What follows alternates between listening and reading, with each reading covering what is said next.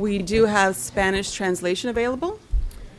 Esperanza Villegas, would you please come forward to introduce yourself? Buenas tardes, mi nombre es Esperanza Villegas y esta noche estoy aquí para traducir. Si alguno de ustedes necesita ayuda, me puede encontrar en la parte trasera de esta sala. Gracias. Thank you. Um, we do have headsets available for the hearing impaired. And um, at this point, we'll move to introductions, proclamations, presentations, or recognitions. Well, we do have one presentation, and with us tonight are students from Dos Pueblos High School. Dos Pueblos High School Principal Mark Swanitz, there's Mark over here, uh, with teacher Jacqueline Kellerman, and students are here to share information about their photography program. Mr. Swanitz? Well, thank you for the opportunity to come before the board and share one of our exciting programs at uh, Dos Pueblos High School. Um, I'll uh, preface my remarks in, uh, with, with the fact that uh, when Jacqueline Kellerman came to us two years ago, I asked her, you know, do you think you could teach photography? And she said, I've never taught photography before. I'm sure I can do it. And uh, in the two years that she's been with us, she has done amazing things with the program, and the kids are soaring to new heights and getting all kinds of recognition and, and honors and rewards. And when uh, Mrs. Kiani gave me the opportunity to bring one of our programs before you uh, to present, I uh, didn't even hesitate a minute before I thought the Day in the Life DP exhibit at Dos Pueblos High School, which is just concluding, uh, would be a great thing for the board to see. So we don't even have you don't even have to come out to DP to see it. We brought it to you. So with that having been said, I'd like to introduce uh, Mrs. Jacqueline Kellerman and her students.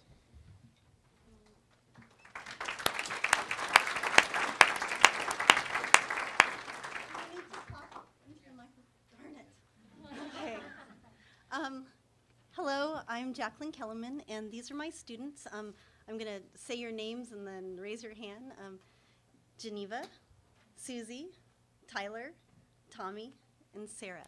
Um, I'm here tonight to uh, to just share the accolades of these students. Um, they've um, accomplished so much in the time that um, that they've been studying photography, and we're just really excited about our program. So much has gone on. So what I'd like to do is show you um, show you a slideshow. I'll talk during that time, um, and then my students will have a chance to talk and um, share things as well. So um, to begin with, um, uh, I'll show you a about a minute's worth of a film that um, several of my students, uh, Geneva, Susie, and Sarah, uh, created. This film is a story about two students at DP. Um, one is a student in the special ed program. Um, she is she has a very rare condition where she's missing half of one of her chromosomes, um, and her developmental process is very very slow, um, physically, mentally. But we found that through music, um, she's been able to grow tr- tremendously. Um, my students put together a 10 minute film, so you'll only see just a a little portion of it. But um, since then, this film is um, now going to be circulated in the medical community. Um, it's going to be shown at the Santa Barbara Museum of Art, and um, we're just very, very proud of it. So um, we'll show you a minute of it, and then we'll go on. I'll go on to explain it, and then you'll see the photos afterwards.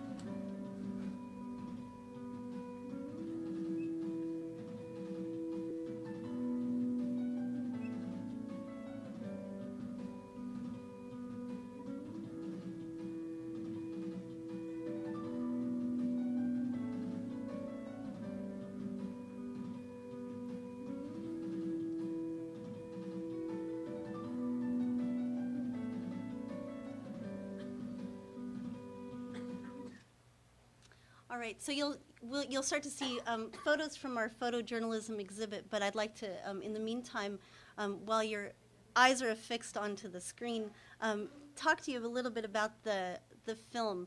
Um, Prospero and Issa are two students at DP, and they, um, um, two very different people, and they were able to come together through music. Um, and it's just beautiful that um, my students had the vision to to see um, this going on on campus. Um, it was and and to actually capture this in an art form. And since then, you know, like as I've said, it's gone. It's going on to be circulated as a study um, for research for medical research, and um, you know, it's just a really uh, exciting thing.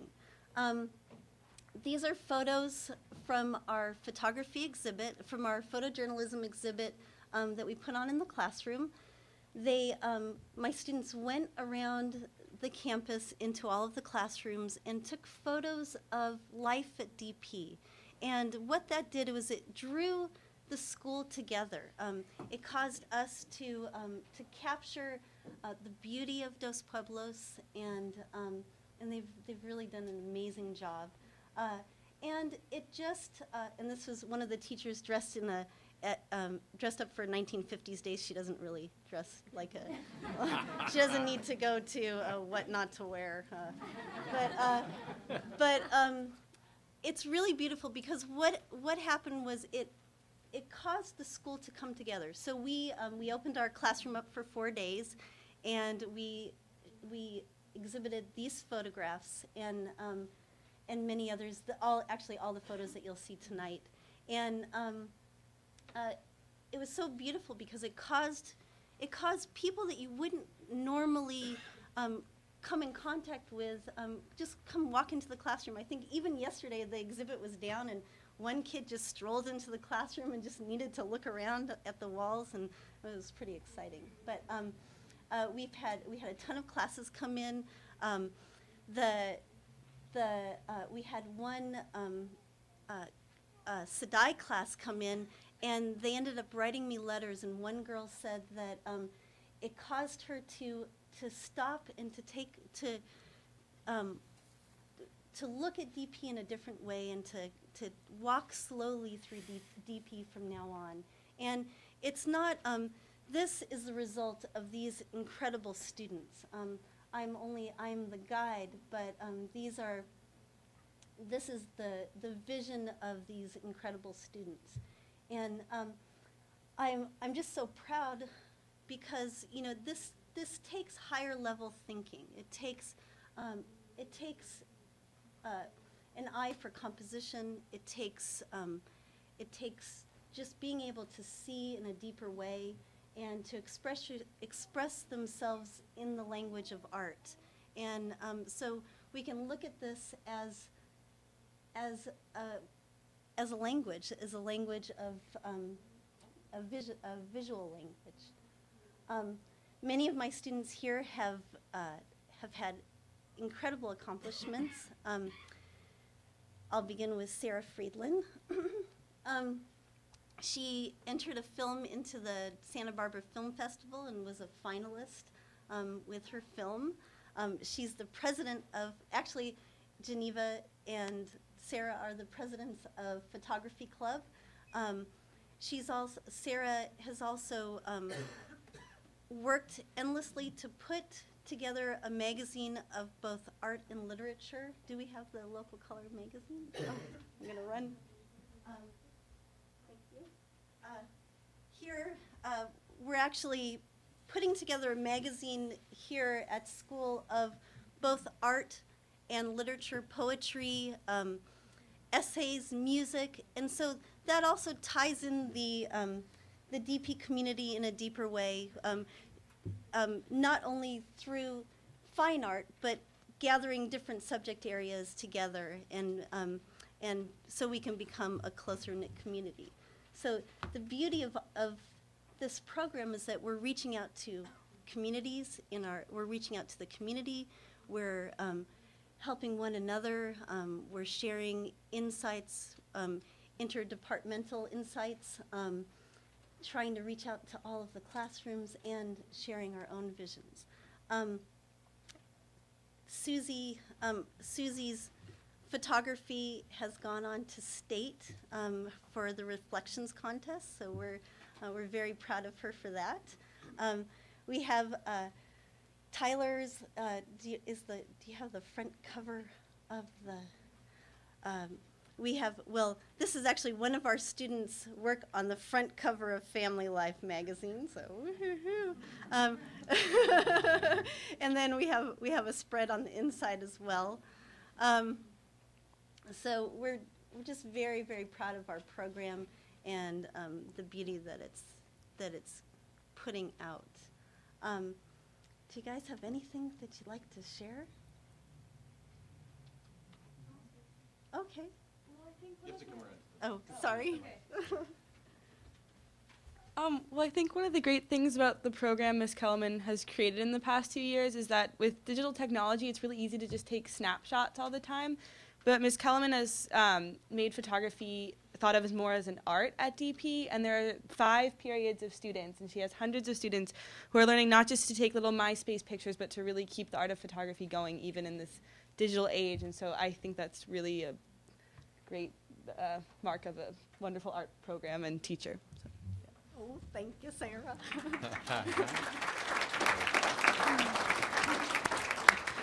Um, Miss Kelman's program is really great because she's not just teaching everyone like the basics. She really gets personal with each student. Like i mean for even me i really want to do photography as my career and she has taught me like each individual little thing like on the computer or how to burn or dodge stuff in the darkroom. Like it's really personal and it's not just oh i'm taking this photography class. So i really enjoy it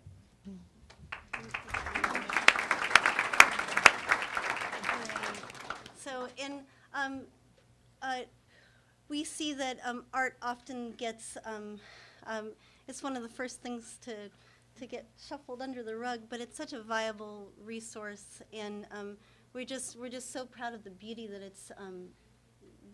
So proud of its beauty, and uh, many of the students are going on to to um, art colleges um, to study photography as a career. Um, we have uh, Tyler has a book of his own photography, um, and uh, and um, it's uh, we're just very proud. Um, that was my last slide. Um, famous Bob, uh, I don't know the guy's name, but uh, thank you so much, everyone.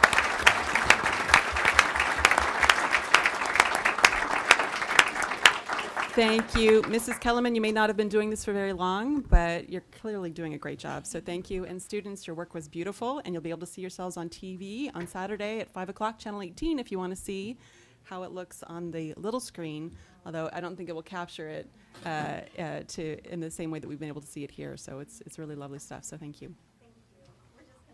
Yes. All right. Thank you. Great.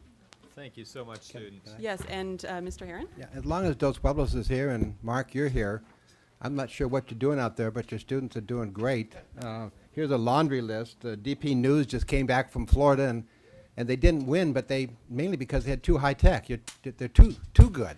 Yeah, that was an interesting article. They're too good. Uh, Virtual Enterprise is getting awards. I think your mock trial team did something uh, fantastic. Yep. Uh, Annie, I went to see Annie. It was absolutely unbelievable. I couldn't, I couldn't believe the facial expressions on all the actors and actresses. It was unbelievable. The jazz uh, day, the mathematics team, the science team going uh, to Washington D.C. in, in April. I mean, that's a laundry list of success that is absolutely tremendous. Thank you very much. Thank you very much. Appreciate that.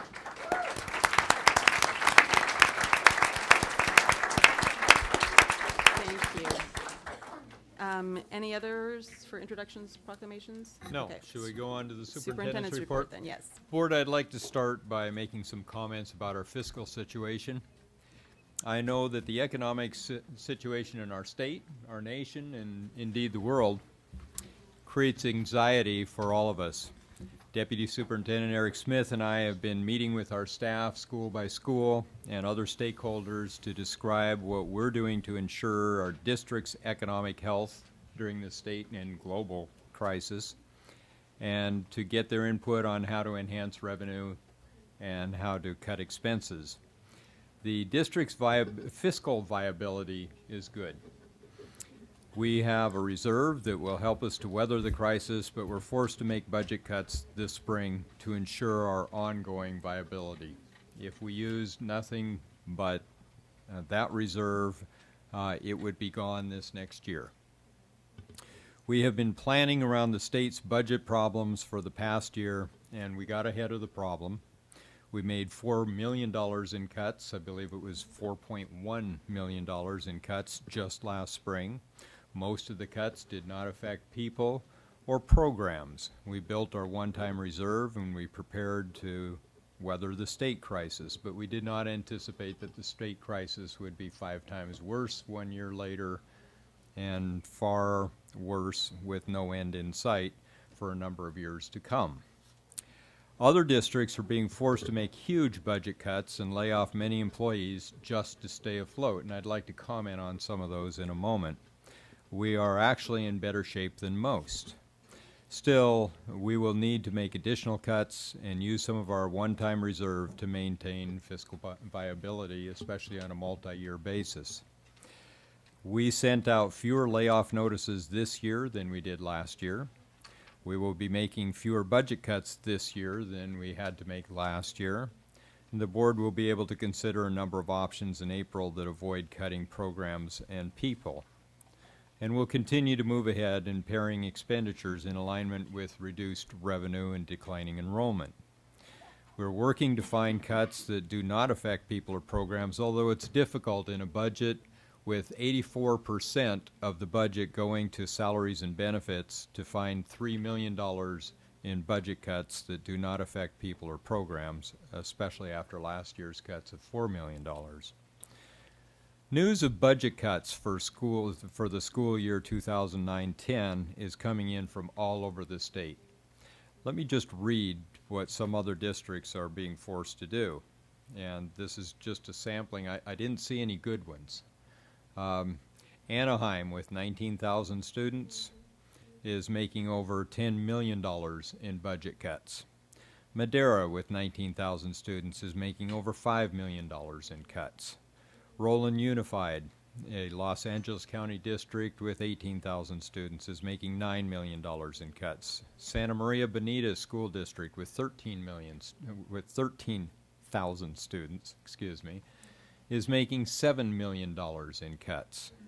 Tracy Unified with 17,000 students is making over $15 million in cuts. Turlock Unified with 14,000 students is making over $6 million in cuts.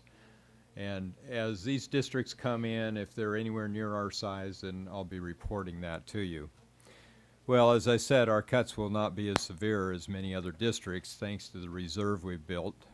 Uh, but our need to make $3 million in cuts is just as critical to our fiscal solvency. We will be discussing possible budget cuts at our next board meeting on April 14 and I have every confidence that the board will make good decisions as we move forward. As a school district, we will continue to provide a sound fiscal base so we can focus on instructional effectiveness and learning. Related to this, in our discussions on budgets and layoffs, there's one area I'd like to make very clear. I know that a lot of news reports lumped the layoff notices sent out to permanent positions, people in permanent positions with those uh, who are in temporary positions. And first of all, I'd like to note that we value our substitute teachers very much, our temporary teachers. But we cannot give them permanent positions when they're holding positions for people who have rights back to those positions. Uh, so there is a difference, even though we've relied on many of them for a number of years to provide great service to our kids and their families. A copy of the newly released budget facts, the impact on the state budget on the Santa Barbara school districts is included in your board materials. It's on the side table and it's uh, in the foyer. Robin Sawaski and I on another item. Robin Sawaski and I just spent two days with our principals and education service directors focusing on standards aligned instructional leadership. Each of our schools, as you know, in, in reviewing their single plans for student achievement, is targeting student achievement and instructional improvement, professional learning communities, and their pyramid of interventions for student learning. We expect to return from spring break redoubling our efforts on student achievement. Today, uh, school administrators as well as general education and special education teachers completed a two-day Section 504 training with Laura Schulkin here in the boardroom. We have started recruiting for the position of the Executive Director of Special Education, and we will soon advertise the director positions. We are advertising the position statewide through the Association of California School Administrators, the California Association of Pupil Personnel Directors, and the California SELPA administrators. In addition to the statewide postings, we're conducting national recruitment through the Council for Exceptional Children. The new special education resource parent, Rosa Lazarovitz, is ready to begin work. Rosa is unable to be here tonight, but we will be introducing her to the board at the next meeting. I thought I'd get a smile. Over the weekend, Mr. Heron, though I think the only thing you didn't report for Dos Pueblos High School was their great weekend at uh, California Mock Trials the state tournament, where the team ended up 13 out of 35 teams. Each of the teams were winners in their respective county championships, and two of the Dos Pueblos team members won the individual state championship awards for best witnesses. I should take some lessons. Congratulations, students, and mock trial coach Bill Woodard. On tonight's agenda, the board will be selecting the seventh member of the Measure I 2008 Elementary District Parcel Tax Oversight Committee. You have uh, a list of, of those committee members. I need to tell you that unfortunately, we recently received notice that the Senior Citizens Group representative to the Measure H 2008 Secondary District Parcel Tax Oversight Committee is unable to serve. So we'll be noticing that we'll be opening the position. We'll come back to the board for further discussion on filling the position. The board brief. My office regularly issues a report to the board called the board brief. It's a collection of reports and articles on school and district matters. A copy of the March 13 board brief is on display in the reception area or can be provided through the superintendent's office. And in upcoming events, board members, I think you have a list. I think Theater Fest is over on the side table. Our secondary school's spring theater performances are underway. Copies of Theater Fest 2009 are located in the back of the room. In April, La Cumbre will perform Copacabana. Goleta Valley will do Pirates of Penzance. Santa Barbara High School will perform Footloose, and San Marcos will present Man of La Mancha. San Marcos High School's Wind Band Concert and Dessert Fundraiser takes place tomorrow as the band members prepare for the New York Wind Band Festival on April 8 at Carnegie Hall in New York. That's a big one. Special events are happening this Thursday at Santa Barbara High School. We have Career Day. Uh, I know a couple of the board members will be there. Goleta Valley Junior High's Orchestra and Jazz Ensemble Concert will be this Thursday, and McKinley Elementary's All School Art Show this Thursday. La Cuesta Continuation High School's iconic portrait proje project will be on display at the Santa Barbara Museum of Art from March 27 through April 10. And San Marcos High will hold its annual all-student art show from April 10 through 16. And that ends the superintendent's report tonight. Phew, a lot of information tonight. Thank you. Um, we move on to item C2, the announcement of closed session action. Uh, we do have one item to report out. Item B4, there was a liability claim with the claimant David Gilbertson. It was moved by Board Member Cordero and seconded by Board Member Deacon to reject the liability claim. That passed 4-0, and Dr. Noel recused himself. Um, we will now move to item C3, which is public comments. We have uh, 20 requests to speak, and I think, um, Normally, the board only allows 20 minutes for comment. Um, It is hard for speakers to only have one minute. Uh, With the board's permission, could we give them two minutes and run um, comments longer, since this is somewhat of a shorter agenda? I hope that would work. yes. Okay. Um, So we'll leave that with Mr. Heron then. First is Dr. Levander, followed by Laura, uh, uh, Ms. Pomerantz, followed by Kate Smith. And, okay. All right, so you- the timers, you should see it also on the podium, and you have two minutes. I'll Thank try to keep it as brief as I can. So my name is Dr. Jan Levander, and I am a parent, and I have two girls. One of them goes to Washington School, and we hope to transfer our second daughter in there. But it seems to be some snafu that we are not automatically allowed to keep families together. And I really urge the school board to think this through, because imagine yourself, because we struggle to have two parents and two girls to go to the same same school, and if we have to take them in different directions, things get very difficult. And imagine if, God forbid, there would be some single parents out there that would be facing this situation. So please let us keep families together as much as possible. Thank you. Thank you.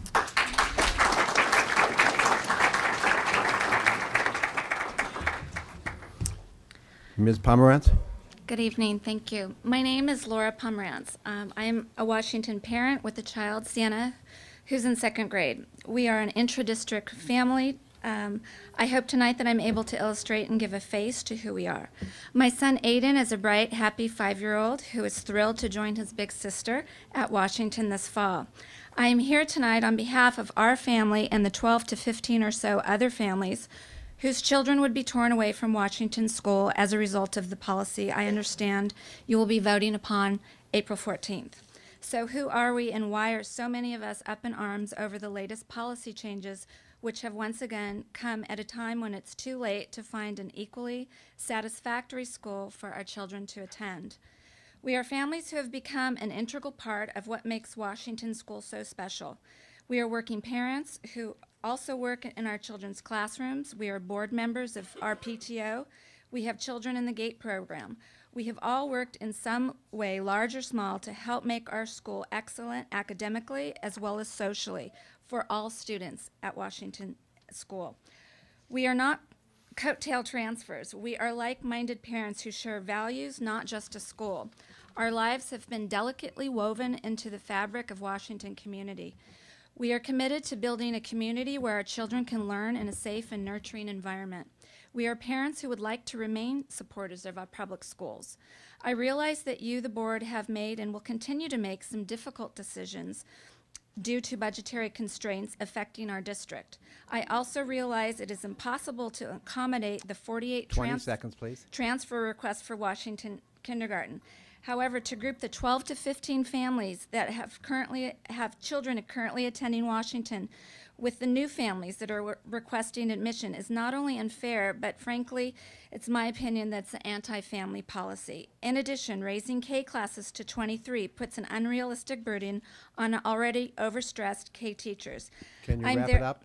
Thank yes, you. I am therefore asking for your vote to keep the classroom size to 20, to keep the 4K classrooms intact, and to further allow the 12 to 15 f- families who currently have children attending Washington School to allow the kindergarten children to join their siblings and to keep our families together.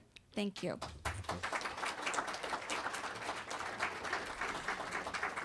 Uh, Mrs. Smith, you have two requests in. Uh, One came too late for the closed session, so can you combine both of them in your two minutes? Sure.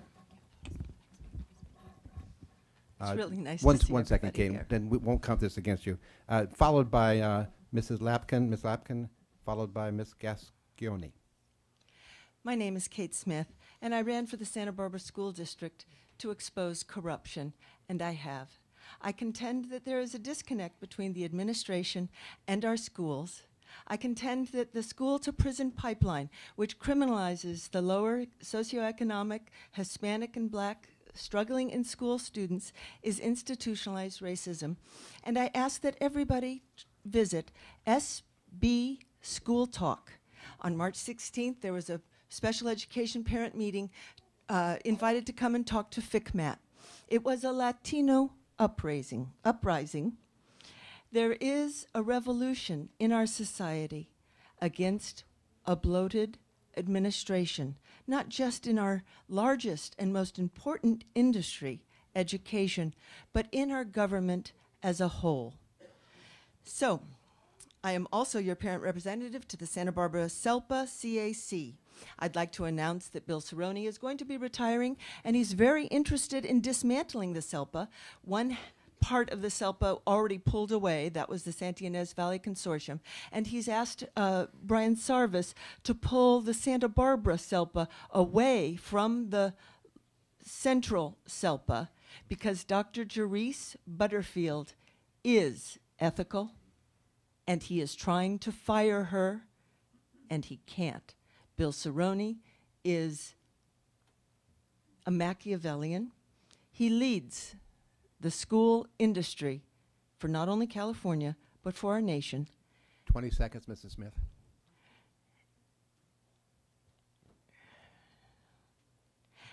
And he's doing a cover up. There is collusion and conspiracy in an unholy alliance of the schools, juvenile justice, and the 47 nonprofits that feed at the public funding trough. We need to slash the administration budget, bring down the administrative money so that we Okay, have Mrs. Smith? child centered, Mrs. Smith? Okay. child centered, teacher directed, and parent involved schools. Thank you very much for coming. Thank you. Ms. Lapkin, followed by uh, Ms. Gascon. Good evening. My name is Jackie Lapkin. I've been a teacher at Adams for 19 years. I would like to share my concerns about your recent decision to reassign our principal, Marge Variano. I've seen many changes in teaching trends, site, and district policies. All of these changes have been challenging, but the specific leadership changes have impacted our school dramatically. Despite this, we have remained a true family when your decisions to remove our leaders impacted our reputation and programs. We're not sure we can recover after this latest decision. After you needed Joanne Keynes to save La Cumbre, you hired Matt Zukowitz. Our dedicated and professional staff worked together to maintain the high quality educational programs that we had to offer. We especially tried to keep our GATE cluster status, yet that has been lost. After that job proved to be too challenging, you trusted another panel of our staff to choose a new leader. The team complied with the process and was happy to support Marge Veriano. She came with many new innovative ideas and vast experiences, especially in the area of language arts. For example, Marge put together the Adams Reading Lab based on guided reading best practices. And so our failing students could learn how to read at their level, not at the district standards, and feel confident. This year, we are faced with many budget issues, transfers, and policy changes accompanying the district's program improvement status. We have never seen so much confusion and changes in decisions at the district level, especially in the areas of ELD and the report card implementation. We have tried to adapt to the weekly or monthly changes that have come from the process. Many miscommunications were made, and now you are unfairly putting the blame on Marge. If there are certain staff members with personal issues, the majority of our staff feels and supports Marge as our principal. We feel you have unfairly judged her, and we think you're afraid she's challenging the system and policies that may need improving. We've hoped you would have reassembled, reassembled our interview team to get feedback from the staff and parents before you made this decision. If there are valid concerns that we are not aware of as a site, could you please address them and provide support to fix Thank them you. so that we may move on in a positive direction? Thank you very much.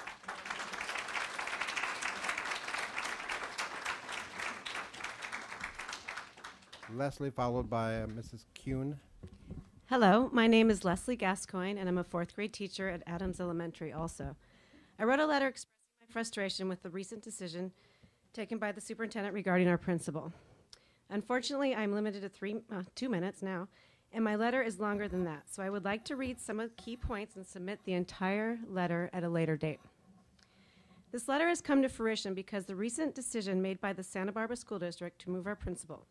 We see this as a failure to carry out the mission statement. The Santa Barbara School District is out of compliance with its own core beliefs and commitments. The mission statement is The mission of the Santa Barbara School Districts is to ensure the educational success of all students through high expectations and a commitment to excellence and to empower them to reach their full potential as responsible, ethical, and productive citizens in a diverse and changing world. At the core of all this are the children and their educational success. We seem to have lost sight of this goal and the negative effects that some of our decisions, like removing our leader, have on their fragile development. It is our job to protect them and provide the stability they need in a rapidly changing world.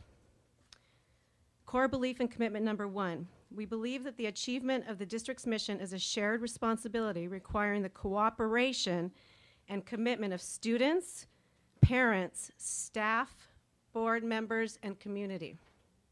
A shared responsibility requires teamwork, beginning at the top with the board and the superintendents, filtering down to each and every child.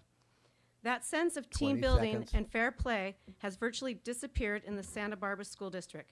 Now there is fear and mistrust between the upper management and the teachers. This is an added stress to an extremely difficult job. Inevitably, this affects the children and their educational success. Recently at Adams, we were informed that our principal was being released in June. This untimely decision was made by the You superintendents need to wrap it up. based on their opinions and the complaints of a minority of our staff. It comes at an extremely volatile time for schools with large budget cuts, layoffs, and program improvement requirements. It was neither shared nor, co- nor cooperative. Many concerned and involved people were ignored. Thank you, Thank Ms. you. Gascoigne. I can't read the clincher, but it's way better than what I just said. Well, we'll look forward to reading your letter. Ms. Kuhn, followed by Mr. Melton, followed by Mr. McKenzie, or Miss, uh, Ms. McKenzie. Good evening. I'm very uncomfortable up here, but I had to come up also to talk about Marge Variano, or Forever Hold My Peace. We were told that we were for, too far along in the process to stop or reverse the decision. And I went home and thought about that, and I thought, well, even people on death row have an appeal process. So that's why I'm here to appeal to you to listen. I can't defend our principal because I don't know what she's accused of or what the perceived shortcomings are. I just know that I can tell you about the principal I know. She always puts the needs of her students, teachers, and families first and has worked tirelessly to build a strong school. She's a champion of special needs students and has streamlined SST so we can get interventions and support and help everyone be successful. Again, our reading intervention lab has really helped the struggling reader and those kids who might fall through the cracks. When we changed and got a new report card, she worked to make sure that we all were hooked up to the internet and had a computer that could handle the program and put one on in our hands. When the Modoc apartments were going to close to be converted to condos, she worked with all the agencies. This affected 70 of our families, and it was at holiday time. And she wanted to make sure they had food on the table, and some of them had also lost their jobs, and she wanted to make sure there were gifts under the table, uh, under the tree. This is her spirit of giving. She recently rallied a lot of our parents to help beautify the school, and they planted and landscaped and, and planted beautiful things. We're very proud of our school. She's escorted countless parents around the school, showing what Adams has to offer and to make them welcome in her neighborhood school. 20 seconds, Lisa. These are just some of the traits and accomplishments of our principal. And I think you have a winner with her. And I don't want to start again. I think if you find a new principal, there's a 50 50 chance of it being successful, and it's a terrible time to take away our leader. Thank you.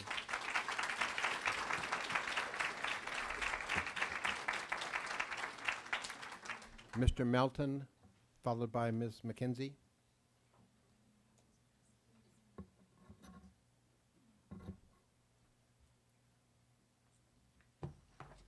I sat down this last week and I wrote a letter when I heard that Ms. Variano was asked to leave Adams.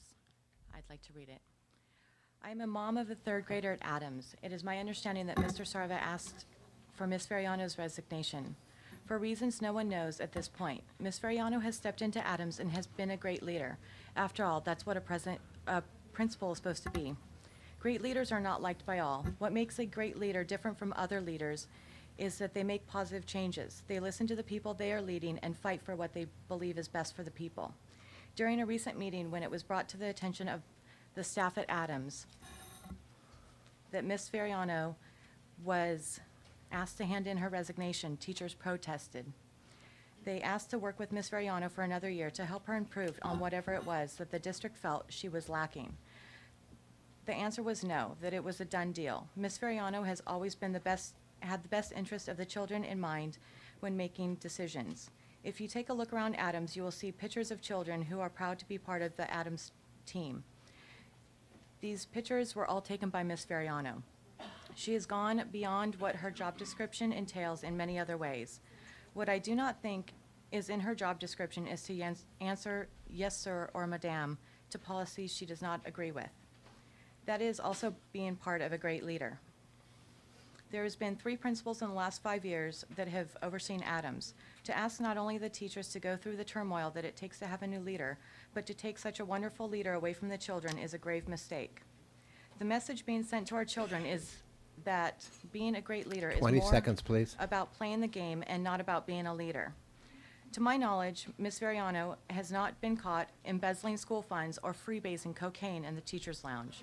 She has come to Adams and done what she was supposed to do, and that is to be a great leader. If the district wants a principal at Adams that is willing to play the game expected of them and to not be a true leader, then you do not have the best interest of our children in mind.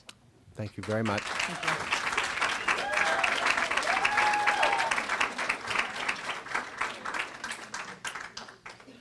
Ms. Adams, followed by? Uh, my name is Carol McKenzie. I've been a teacher at Adams for 13 years. My dad was a school principal for LA City Schools for 37 years. Um, the decision to reassign Marge Veriano, um, in many of our opinion, was the wrong decision based on secret, questionable sources of which we know not, uh, for questionable motives. Um, please collect more facts before carrying this out. Um, please reevaluate this decision. Thank you.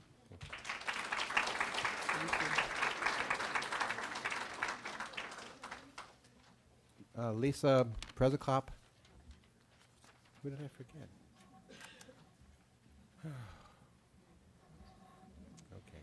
Hi, my name's Lisa Przekop. I'm the Associate Director of Admissions at UC Santa Barbara, parent of a senior at Dos Pueblos High School, and I served on the School Site Council at Dos Pueblos. I'm here to talk about the possible reduction in the number of counselors in the district. I first want to start by saying I've been in this field for 26 years, and I can absolutely say that the district counselors we have are about the best in the state. I've worked with counselors throughout California, and our counselors are incredibly knowledgeable and strong advocates for our students. I'm always impressed by the fact that our counselors in our district advocate for all students, not just those that are clearly headed towards college, but those students who are the late bloomers, um, whether it be directing them to Santa Barbara City College for later transfer or just making sure they have the resources they need to be successful. They're very effective in guiding students through the A through G requirements and UC requirements, which I must confess are incredibly complex.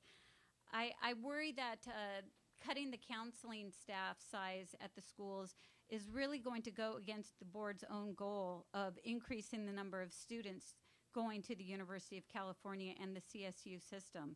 I can tell you admission letters went out this, this week across the UC campuses, and competition for admission was more fierce than it has ever been before. The information is highly complex, and by, re- by increasing the counselor uh, caseload, it's going to make it much more difficult for them to effectively get that information across to your most needy students. So I'd really uh, encourage you not to reduce that. Also, I'd like to say, as a parent, I have a student who went through some very serious medical conditions this last year, has missed a tremendous amount of school. He would not have been successful without his counselor, Mary Willer, at Dos Pueblos, advocating for him. I don't know that counselors would have the time to do that with an increased load. And lastly, I just want to say my voicemail is full from all of the district counselors right now who are advocating for students at their school to get admitted to UC. And again, reducing that, you're going to, in essence, reduce the number of students you have in the UC system. So please reconsider. Thank you. Thank you.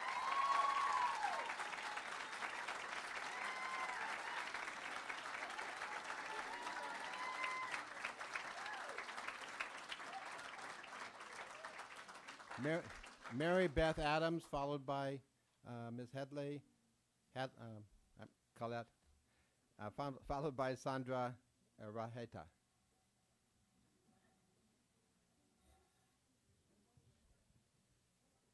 Mary Beth Adams, Is Ms. Adams here? No, okay. Mrs. Hadley.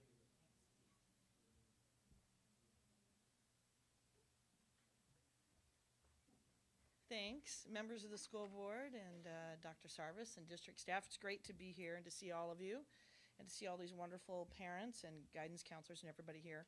Just like to let you know, my name is Colette Hadley, and I'm the executive director at the Scholarship Foundation of Santa Barbara. And we've been in this community for 46 years, and for all 46 years, we've worked with the Santa Barbara School District guidance staff.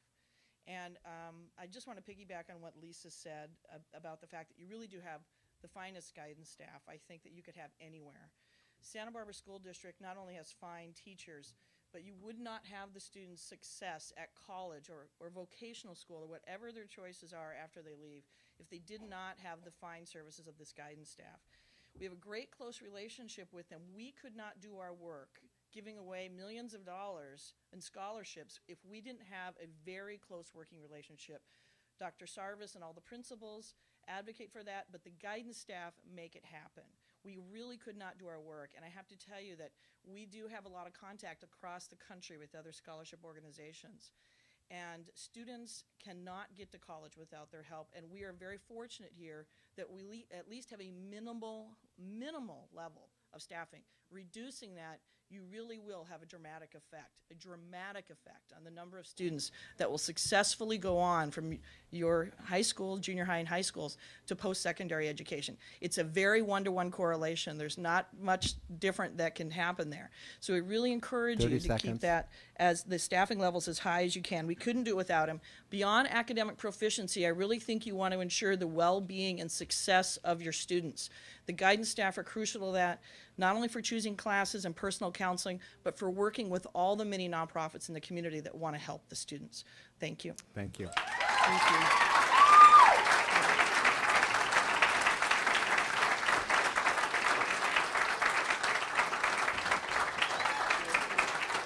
Thank you. And I do want to be clear that we had to close to public comment when we took the initial 20 speakers because that puts us at double the amount of time that we normally reserve for public comment. If there are others that want to make public comment, then you can write to us, you can email to us, or you can come to the next meeting. Thank you. So go ahead, Mr. Uh, Sandra, followed by Gary Linker, followed by Octavio Cabrera, and uh, student Adrian Montiel. And can the, the two that follow, Sandra, uh, go over to that area, be ready to come up? Yeah, go ahead. But we should, we can get a line going so that it's, it's more efficient. If the next speaker could go ahead and get, stand next, near the podi- podium, and the speaker after that as well. Good idea. All right, m- my name is Sandra Iraeta, and I am a senior at San Marcos High School. Um, throughout my high school career, I've been very successful, but my successes would be almost impossible without the help of my counselors. For example, I am the first in my family to go to college. My parents weren't able to help me with that in that direction because they didn't know and counselors as well as my school provided um, clubs like Royal University, which showed me step by step how to get there to university and showed me scholarships I would have never been aware of, such as Parent Night and all these wonderful workshops that I would have never known and answered my questions. And now I've recently been admitted to UC San Diego, which. so it's no longer a distant dream, but it's it's here. I'm really excited. I was also awarded a Goleta Teen of the Year 2008, and I wouldn't have been able to be nominated if my counselor wouldn't have nominated me. I was also I also studied abroad in Italy, and I wouldn't that wouldn't have even been possible if my counselor wouldn't have sat down and gotten my schedule structure worked out so I would have been able to have enough credits to graduate from college. Now, I am just one example of these various ways that councils can impact a student. I'm just one out of those 300 students that they support, that they uh, advise and staff. And these people aren't just counselors, but they're coaches, they're advisors for special seconds. clubs, and they are parents. And I am amazed with everything they do, but they're not superheroes. They're not superheroes, and I don't think that by raising it to 500 or 600 students to one counselor will make the impact that it's making right now. I think every student has a fair shot for success if, it, if they have a good one on one relationship with their counselor. I'm not asking you for to add anything. I'm just asking you to keep our counseling funding. Thank you. Thank you very much.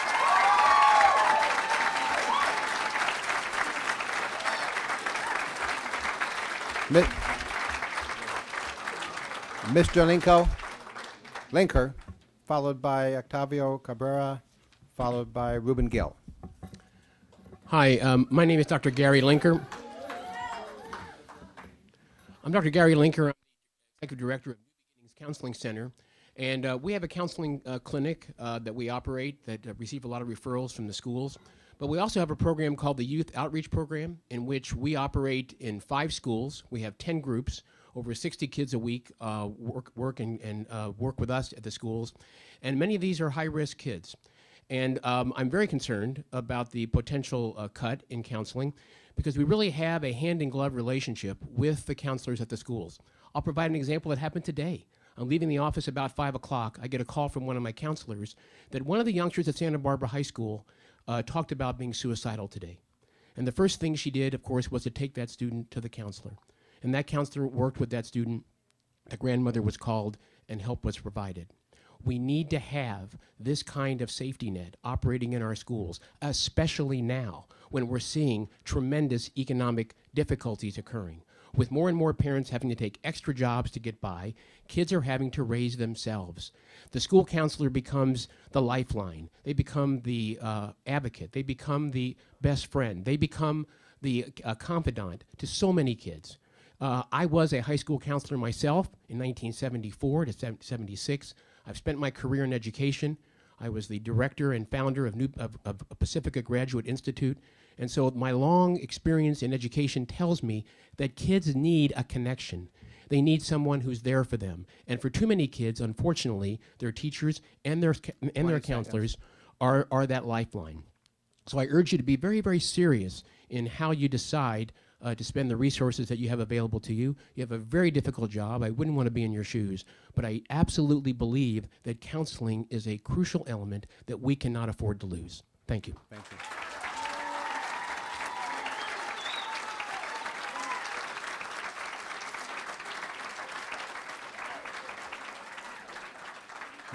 Mr. Cabrera and uh, Mr. Montiel. Hola, buenas noches. Mi nombre es Edgar Adrián Montiel y soy estudiante de la Escuela San Marcos High School grado 10. If you pause for a moment, we can have Spanish simultaneous translation. If you could hold a moment. Sorry, not simultaneous, but she'll, she'll, she'll repeat. Sequential. Vas a leer una frase y me dejas que la traduzca. Yo luego la leo otra. ¿ok? Hola, buenas noches. Good, good night. Uh, hi. so good night. I'm not gonna go to Okay. Mi nombre es Edgar Adrián Montiel. His name is Edgar Adrián Montiel, Soy, el, soy estudiante de la Escuela San Marcos High and he School is a student of San Marcos High School grado 10. and the 10th grade. La razón por la que estoy aquí The reason why is he, he is here es porque los recortes a consejeros because of the cuts in the counselors tendrán un efecto negativo will have an effect, a negative effect entre mis compañeros y yo. with the, uh, her, the, all the students. Personalmente, la ayuda que he recibido de mi consejero The help that he's received by, uh, uh, from counselors me ha ayudado a obtener las clases has been helping him to uh, take the classes y poder disfrutar más la escuela. and enjoy the school. Le pido a la mesa directiva He's asking to the um, board of directors que reconsidere to consider este, la pro- el efecto que va a tener el efecto que va a tener el recorte de the consejeros effect of what's going to have the, record, the cut of the counselors entre mis compañeros y yo. with all the students. Gracias por su atención. Thanks for your attention.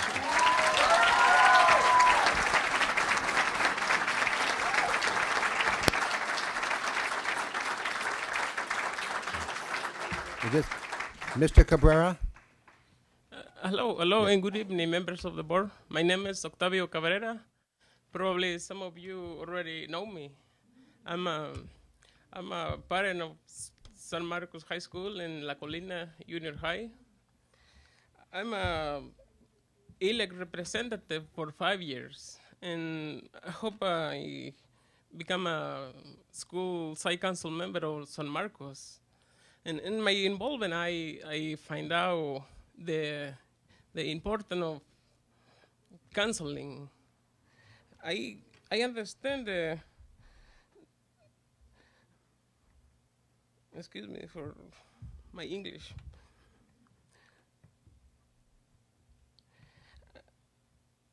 In my involvement, I have see the important and benefits of good counselors, and I understand it's your responsibility to to do good decisions for our for our schools for for the benefit and education of our children. Please do not cut counselors. They are the guidance for our students our children's. And once again and once again please don't can don't cut counselors they are the heart and soul for the education and please i ask you to reconsider and thank you Thank you very much.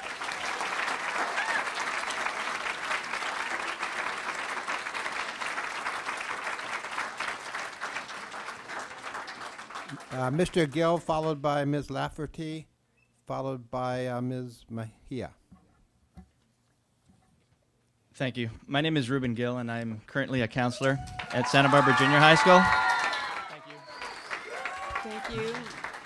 I say currently because this may not be the case come next school year. We're asking you, our distinguished school board members, and you, Dr. Sarvis, as well, to keep our AB 1802 supplementary counselors in place for next school year. We're not asking for any extra money to keep 18, AB 1802 in place. We're not asking for preferential treatment over any other of the valuable programs in our district. We only ask that you continue to use the funds that the state has already designated for AB 1802 counselors. According to Eric Smith, Deputy Superintendent, the state provided our district $680,000 to fund AB 1802 counselors at all secondary schools. If all AB 1802 counselors are cut from the upcoming budget, we, we will have received the largest cut to any one program, elementary and secondary combined. I understand that we are in a fiscal crisis, but we also know that we are in a social crisis as well. Many students and their families can tell countless stories of how school counselors have supported their children academically, socially, and emotionally. Much of the work that I have been able to do as a counselor is because we, as counselors, have fewer students on our caseloads. Specifically, at Santa Barbara Junior High School, this has allowed me to make personal home visits to support at risk students, create and participate in early intervention programs for all students, support our AVID program and student recruitment and placement by visiting our feeder schools, teaching curriculum in the AVID classroom, and participate in AVID family nights. 20 seconds. please. Connecting families with valuable community resources, and the list goes on. This is on top of my regular duties as a counselor. And I love my job as a counselor. Reducing the number of counselors will compromise our ability to serve our students well. Thanks again for your time.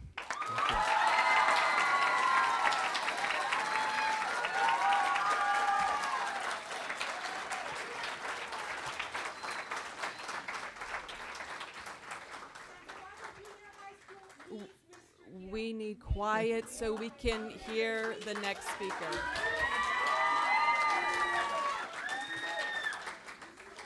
Dear Santa Barbara School Board members, my name is Jenny Lafferty, and I'm the parent of a I'm the parent of a ninth grader at Dos Pueblos High School. My son came to Santa Barbara School District after 10 years at parochial school, and we were lucky enough to have him placed at DP. In eighth grade, my son was bored with school, and his academics were suffering. He left eighth grade with a 2.4 GPA.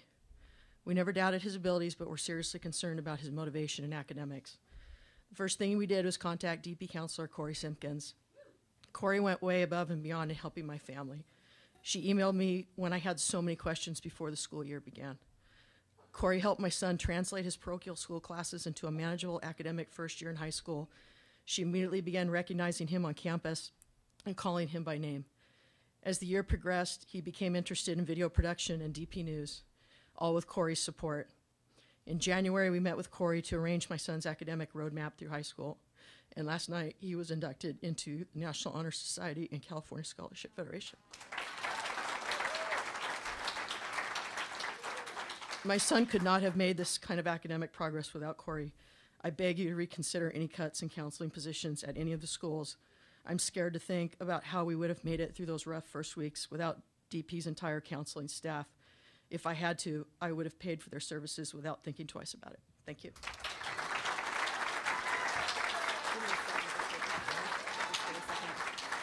Um, before the next speaker starts, I do want to remind members of the public that the purpose of this is for the board to be able to hear these speakers. So if you're making noise out there and we can't hear you, then we'll have you leave the room. So please keep it quiet so that we have respect for the speakers. Thank you. Ms. Mejia? Wonderful. Thank you so much for allowing us to make comment today. Um, my name is Maritza Mejia. I work with the Scholarship Foundation of Santa Barbara, and I'm privileged enough to work with the counseling staffs at the different high schools and junior high schools. We know that you have a very difficult decision ahead of you, and I don't envy the position that you're in. But I'm here to remind you so much that the counselors are exactly what we need more of in order to really make positive progress, not just in our schools, but in our community as a whole.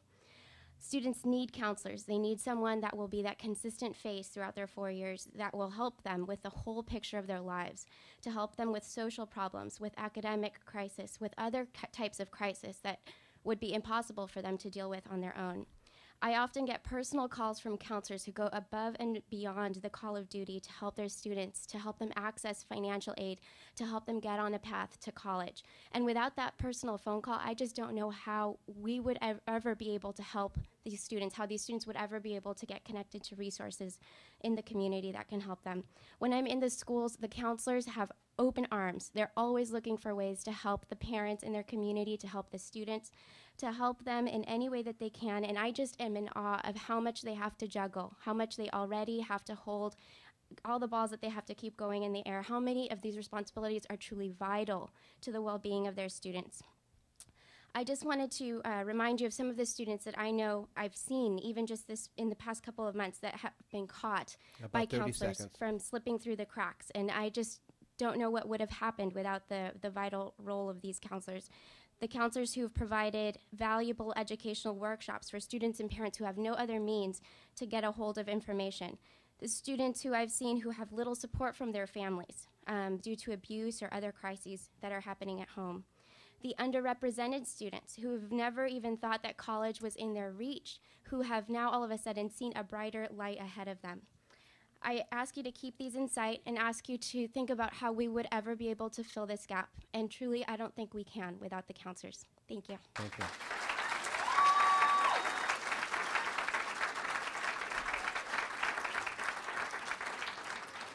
Mr. Bakewell, followed by uh, Marisela de la Rosa, followed by Nancy Macias.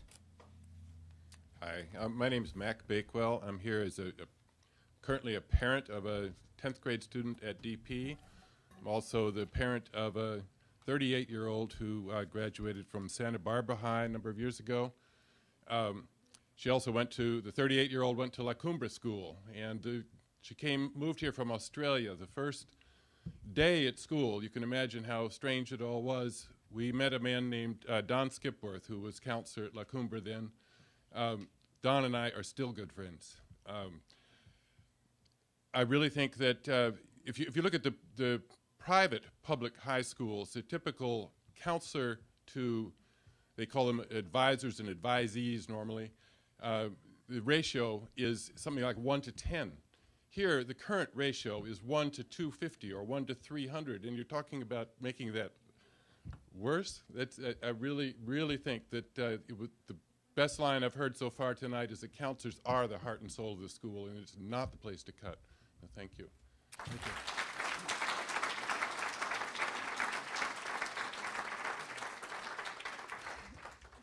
Soy madre de una de Soy Marisela de la Rosa, mi hija You está en want las... to wait just a moment? She and has get- her own translator, I believe. Do you? Oh, okay. No? Oh, no. All right.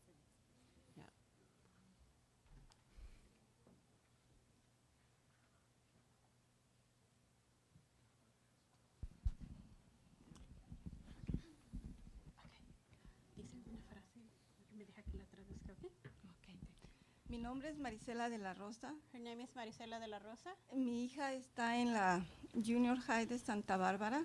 Uh, her daughter attends Santa Barbara Junior High. El cambio de la primaria a la secundaria es un cambio para los niños muy fuerte. She thinks that the change between the elementary school to the junior high is a strong change. Hay muchos problemas en la Junior High She said that is, there's a lot of problems in the junior high entre los alumnos, entre los niños between the students. y los consejeros. El consejero de la escuela, Rubén Gil, ha ayudado mucho a mi hija y a muchos alumnos, muchos compañeros de mi, de, de mi hija a salir de los problemas, a And- salir fuera de las drogas. okay, um, what's the counselor's name? Mr. Hill? Okay, um, he's, she's mentioning, uh, the counselor, Mr. Hill, how he's been helping, uh, her daughter and other students with, um, difficulties that they have. sobre las drogas, a, Regarding nos- a- drugs. a no meterse con las gangas, a ubicarse más in gangs en sus estudios, and focus on, um, their, um, studies. en lo personal, y yo creo que entre todos los padres sí nos gustaría que reconsideren, que no hagan recortes de consejeros. She wants the board to con- reconsider that not to do any cuts because the counselors help them so much. porque son de mucha ayuda. Ellos impulsan, ayudan mucho a los niños. Los niños necesitan alguien que les aconseje. They help the students a lot and they need someone who can advise them. Es todo. That's it. Thank you very no much. recorten consejeros.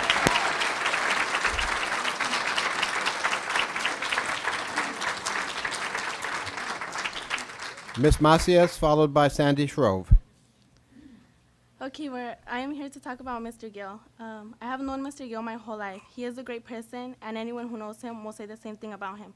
We don't want him to leave Santa Barbara Junior High School because he is a person who has always helped us in everything we need. Whenever we needed something from him, he would always be there for us.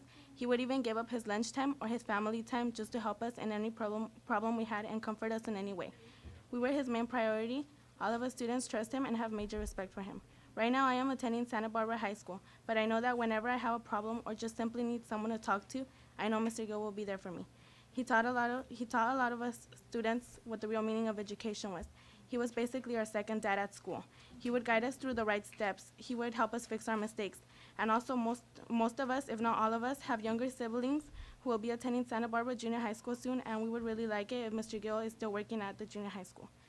Um, I know that it, that if he I know that he's going to help them the same way he helped all of us. I want my sister to have an adult at school who she can trust and view as a great role model. I know that there's other adults at school, but I just can't describe all the great things Mr. Gill means to me. I know, I know he will care, for them just like he cared for us. He has helped many students out, and a lot of the community, a lot of the community knows him because of his great heart and personality. Mr. Gill really enjoys working at the junior high school and with the community. I know this because he, ha- he has told many of us the same thing.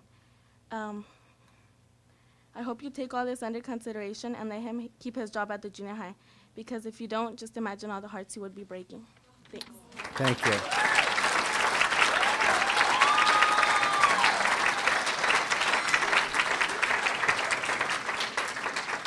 Mrs. Mrs. Shrove? Words matter.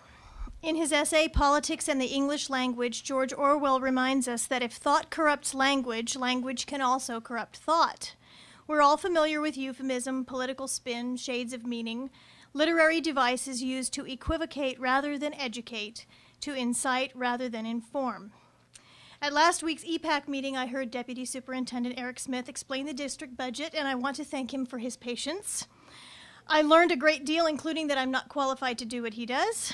I also learned that vocabulary used in the budget is somewhat inconsistent and perhaps not accidentally so.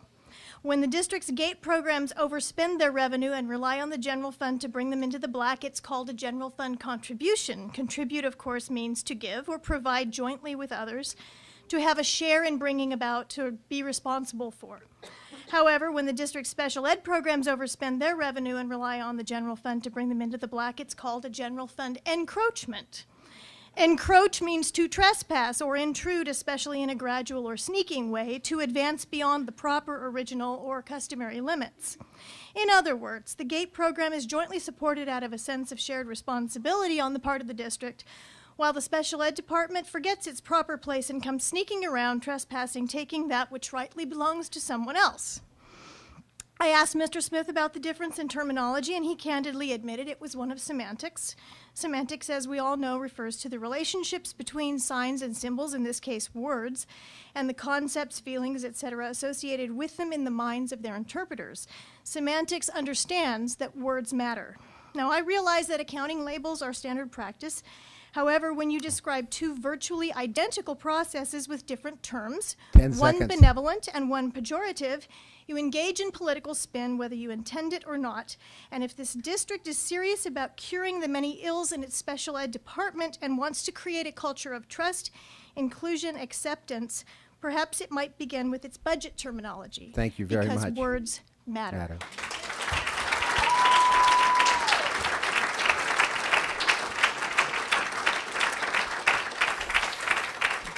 Thank you, Mrs. Shove, and that is, um, oh, yes, Mr. Heron.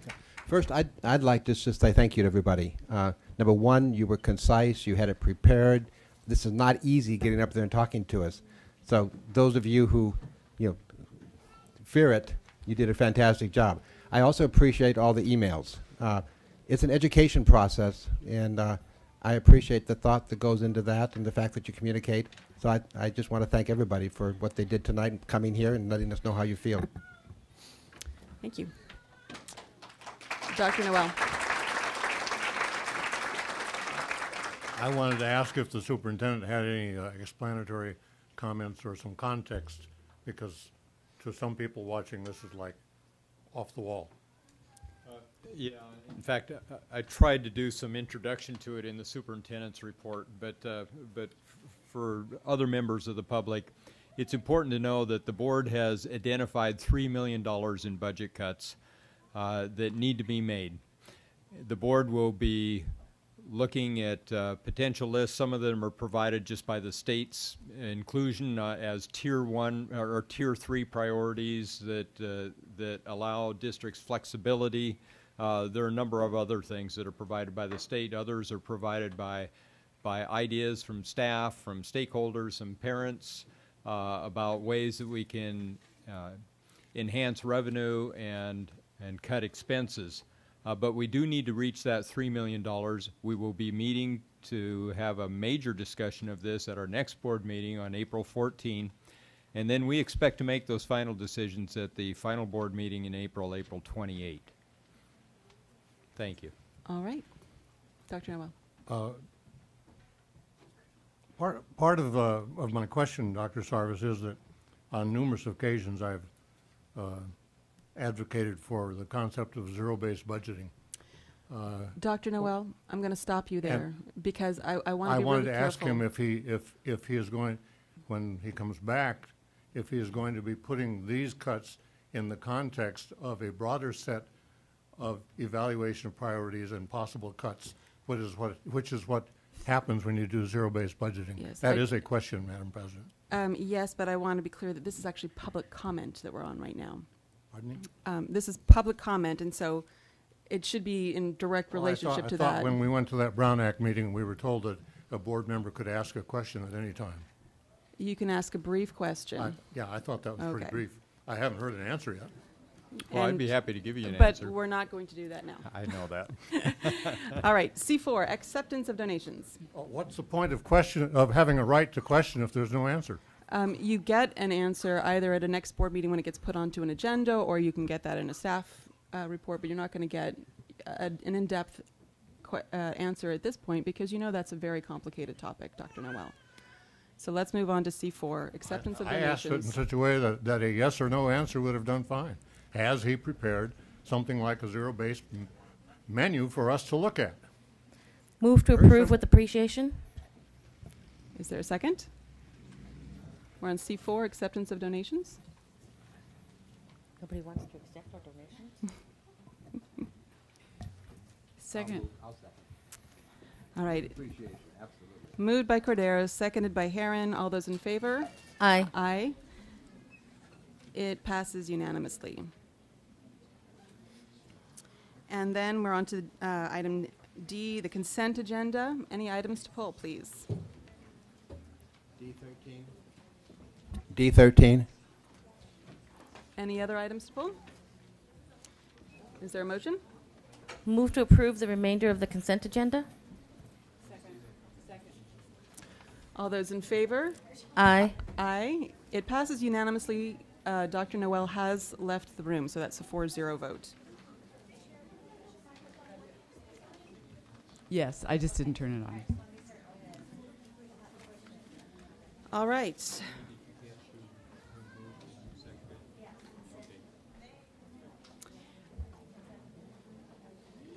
Now we're on to item E1, approval of Measure I 2008 Parcel Tax Citizens Oversight Committee Parent Candidate.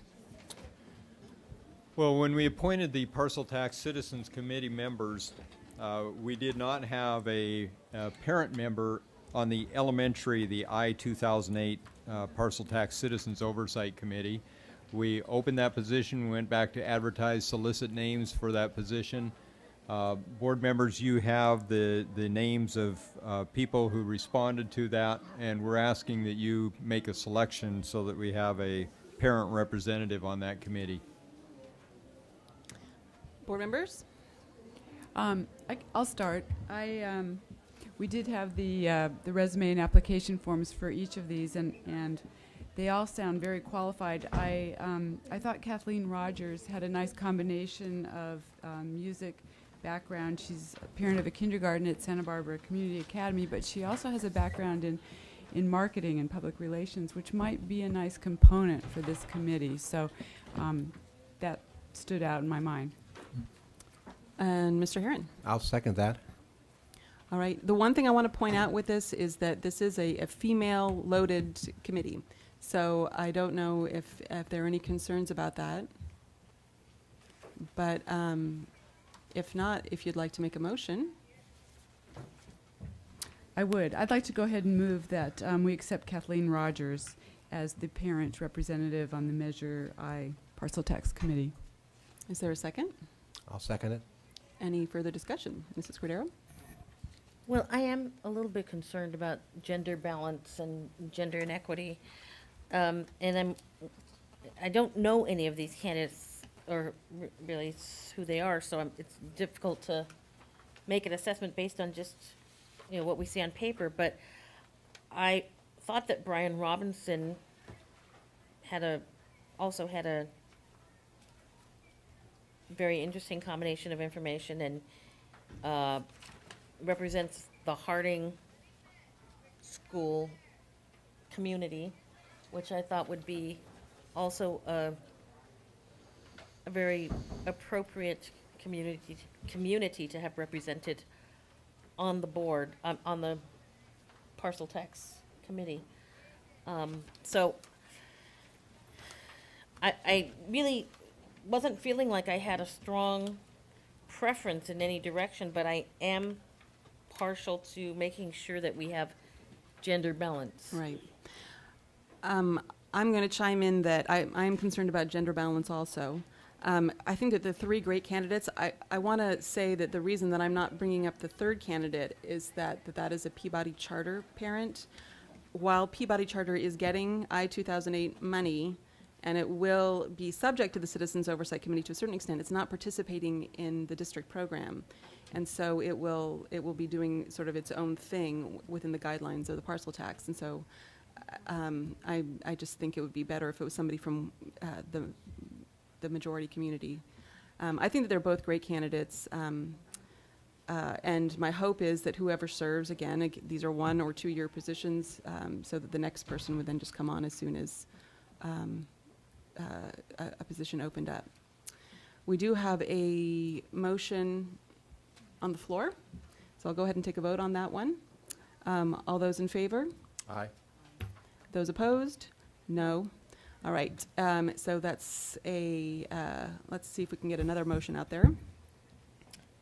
Well, I would move to approve Brian Robinson to be the parent representative on the Measure I Parcel Tax Oversight Committee. Is there a second? I'll second. All right, um, all those in favor, or any further discussion, let's say? Um, and I would just like to say that I know I made the point about gender equity when we were originally formulating these committees, and so it, it's only right that I think that, that I follow my own rules here. So um, that's, and, and it certainly sounds like Mr. Robinson would do a, a very good job. Yeah. I want, I didn't think of gender, I just thought of qualifications. Yeah. But I'm perfectly happy with Mr. Anderson. Okay. Robinson. Robinson, all right. Uh, There's a motion on the floor, so all those in favor? Aye. Aye. Um, Any opposed? Um, So that passes 4-0 with Dr. Noel abstaining, um, although he has now um, come back to the meeting. Um, We now move on to item E2, approval of Santa Barbara School District's safe school plans. And Michael Gonzalez, our Director of, um, of Student Services, will make this presentation.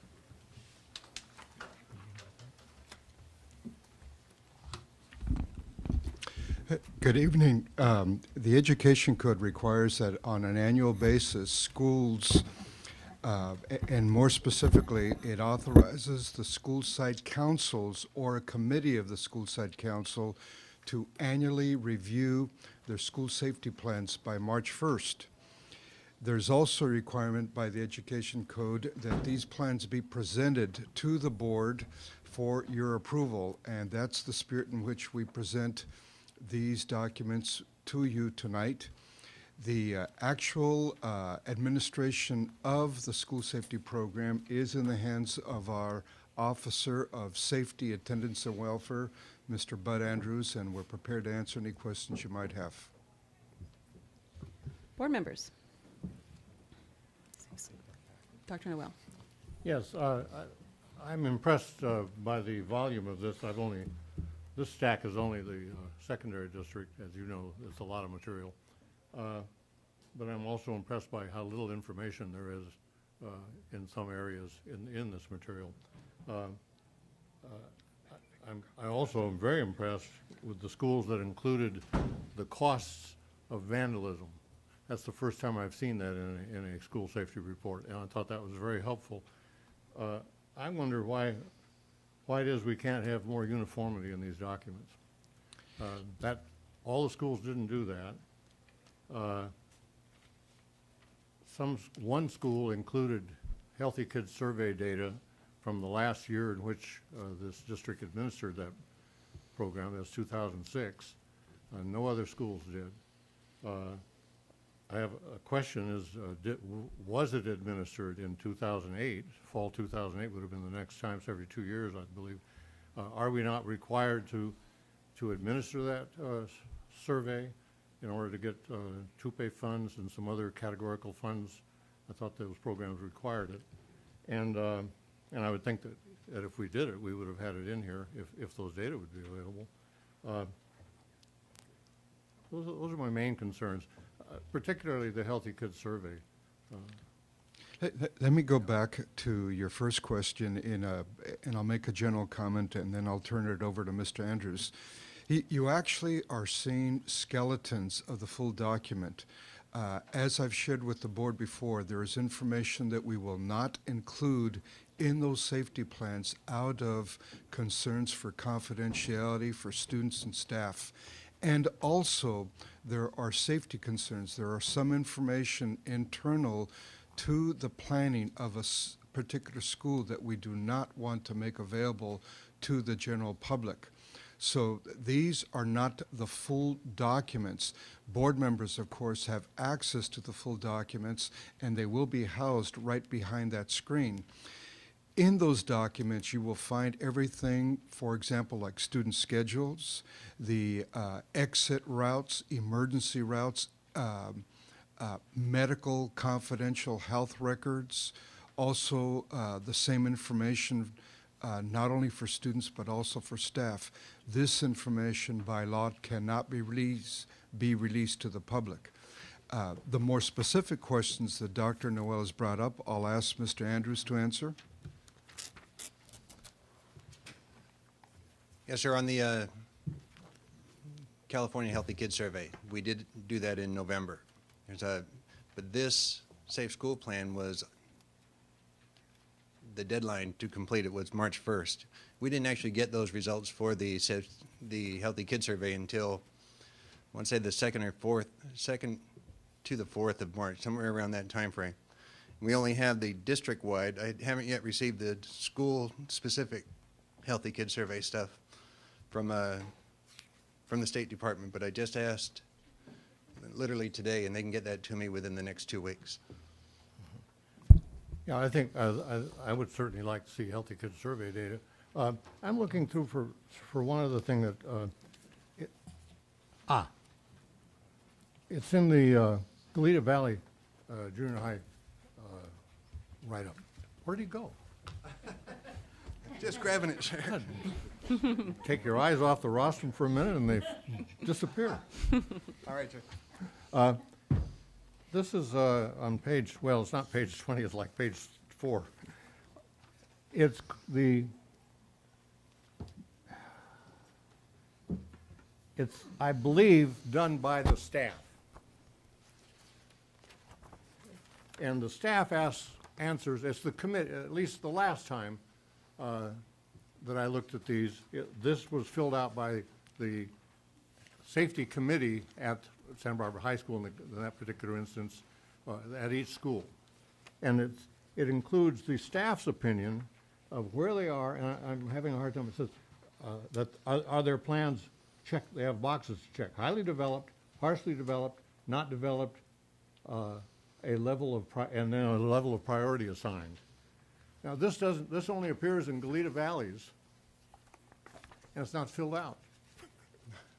And, and I found that exceptionally useful information because it's really representatives of the faculty telling us how they feel about a, a, and tr- my goodness, uh, at least 20, 30 items, uh, sort of like the Healthy Kids Survey, but this is the Healthy Faculty Survey, uh, Healthy Campus Survey. That goes to one of your questions on the uniformity of the Safe School Plan. A, I'm currently working with each one of the schools, especially the elementaries that don't have the same administrative support as the secondaries, to get the same process and the same content in each one of these reports.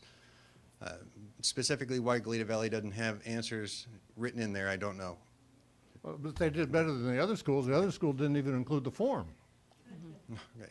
Okay, and so at least we know that that form exists. I, I, I think that's a, I think those two pieces of information, aside from legal requirements on the Healthy Kids Survey, uh, uh, th- that's vital information for the board and for the public to understand uh, how, in the eyes of students, issues having to do with safety and, uh, and welfare are perceived, and in the eyes of the faculty. There's a, I can assure you then in, in the next report, that will be part of it. But can we move toward having that uh, uniform? Yes, sir. It, it's already in process. Thank you very much. Mrs. Deacon? Um, Well, I'll, I'll piggyback on that. As, as uh, Mr. Andrews and Mr. Gonzalez know, I also raised this issue with them about the uniformity and the possibility of having templates um, that each school uses so that we can compare apples to apples. And I, I note from your memo that you're already moving forward on doing that, so I appreciate that, and I think that's going to be really helpful.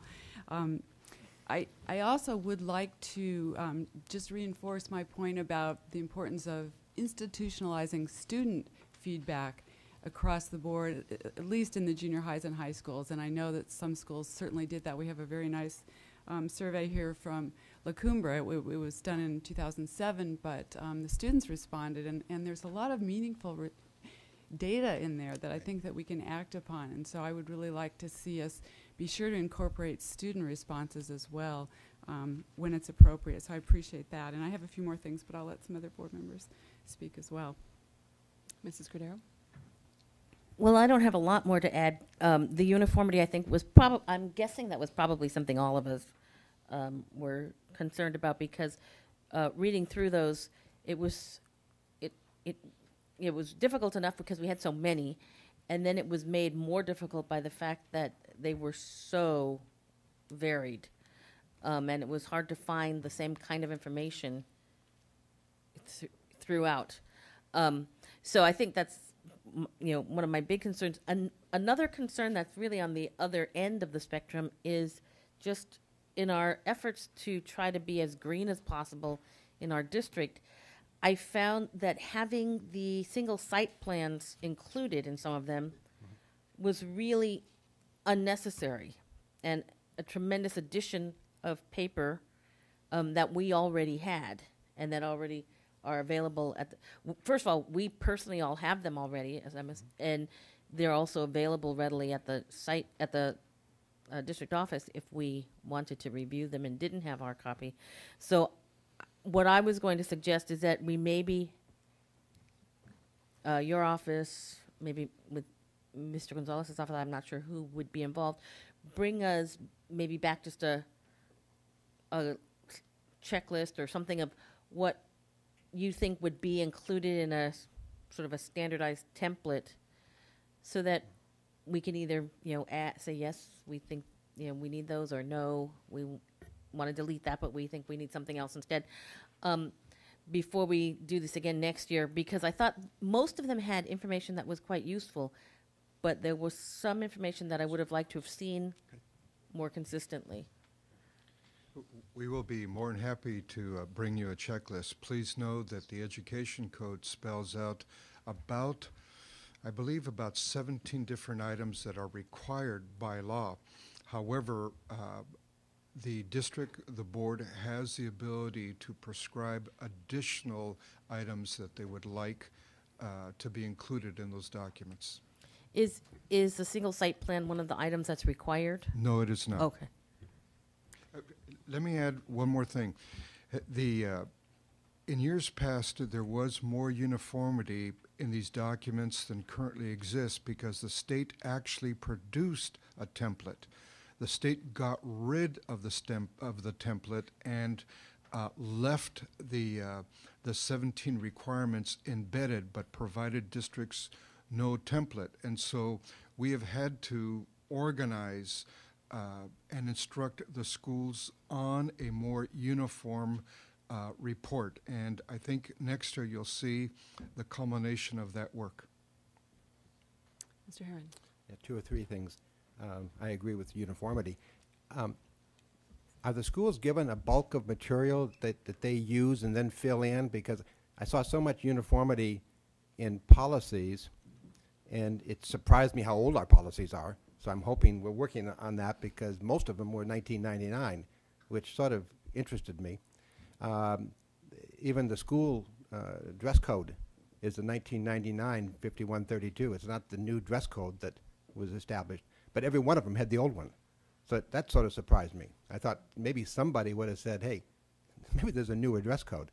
Um, but speaking of dress codes, the uh, San Marcos High School dress code has the gang-related dress code attached to it. And my question is, by approving this, are we approving that dress code, or is that dress code still coming to the board for approval? That board, uh, that uh, proposal uh, from San Marcos High School will be on the agenda of the next board meeting. And um, I would urge you, uh, as you approve the document, to exclude that plan.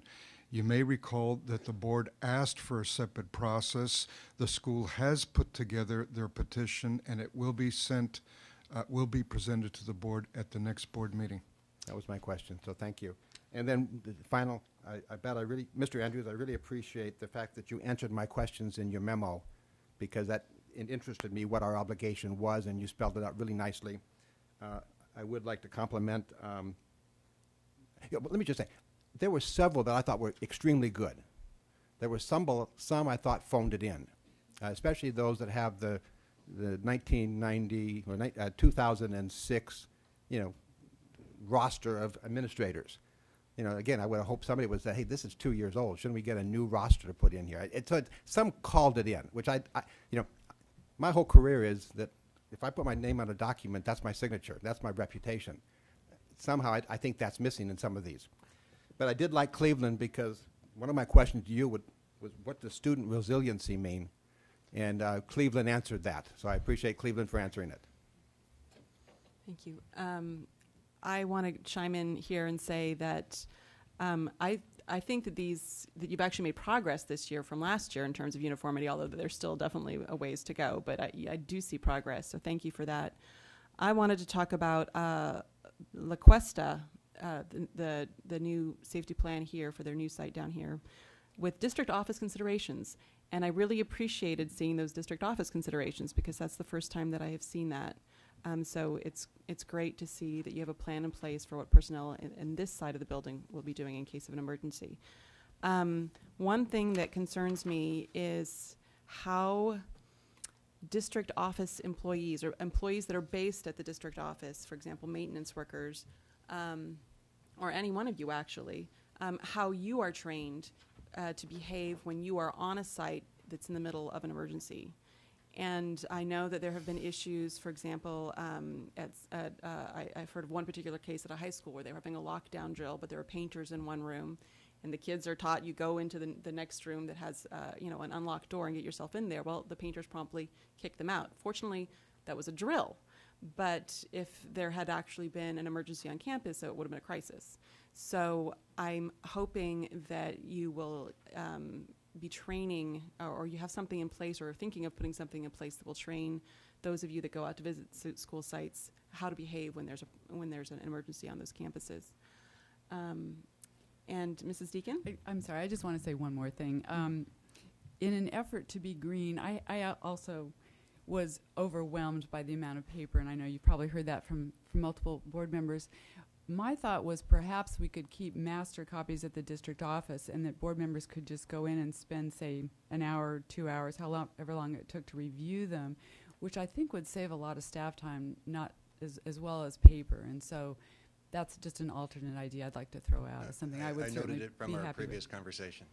Right. and I personally think that's a terrific idea. I don't know if other board members have any objections to it, No, I but love the paper. you want that And- big and the carton thought- to the come to your that door. There's even more to read over Yeah, there is just- exactly. so All right. maybe we could opt to, to either get them ourselves or come down and read them at the district I, office. I, I yes, although I imagine most of us would probably want to come down here. Or check Mr. them Heron? out and take them home and read them. Yes, it could be a library service. Uh, before we take any action on this, um, oh, Dr. Noel? Mine, uh, the, that vandalism data was, was really interesting. And, and uh, uh, I wouldn't mind have, uh, as another agenda item, having uh, uh, that something that we could talk about and, and get input from other schools. Uh, Clearly, there's enormous variability between the schools based on what we've seen. Uh, It would be nice to hear uh, a report on that, and, and uh, it looks like it'd be almost cost-effective if, if, if, to, to spend some money on more security. I'm not sure what the Mhm. trade-offs are there, but I'd love to Mhm. have a conversation on that. Okay. I think we have public comment on this, Mr. Heron? Mr. Wheeler.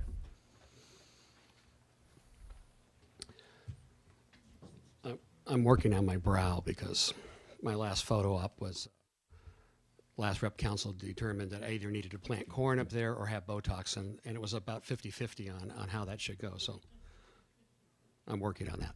Thank you, Elaine Wheeler, Santa Barbara Teacher Association. I'd like to thank uh, Mr. Andrews for uh, the beginning that he made on a very essential part of our, our school day. It, it doesn't fall into the three R's, certainly, but it certainly falls into the safety issue, which every educator and every certificated staff member is charged with as part of their responsibilities. Um, this is a beginning, but it's only a beginning. And um, in terms of the construction of these projects, I know the principals or vice principals at the secondary take a, a large part of the load on, and there are, is a certificated staff member signing off on this.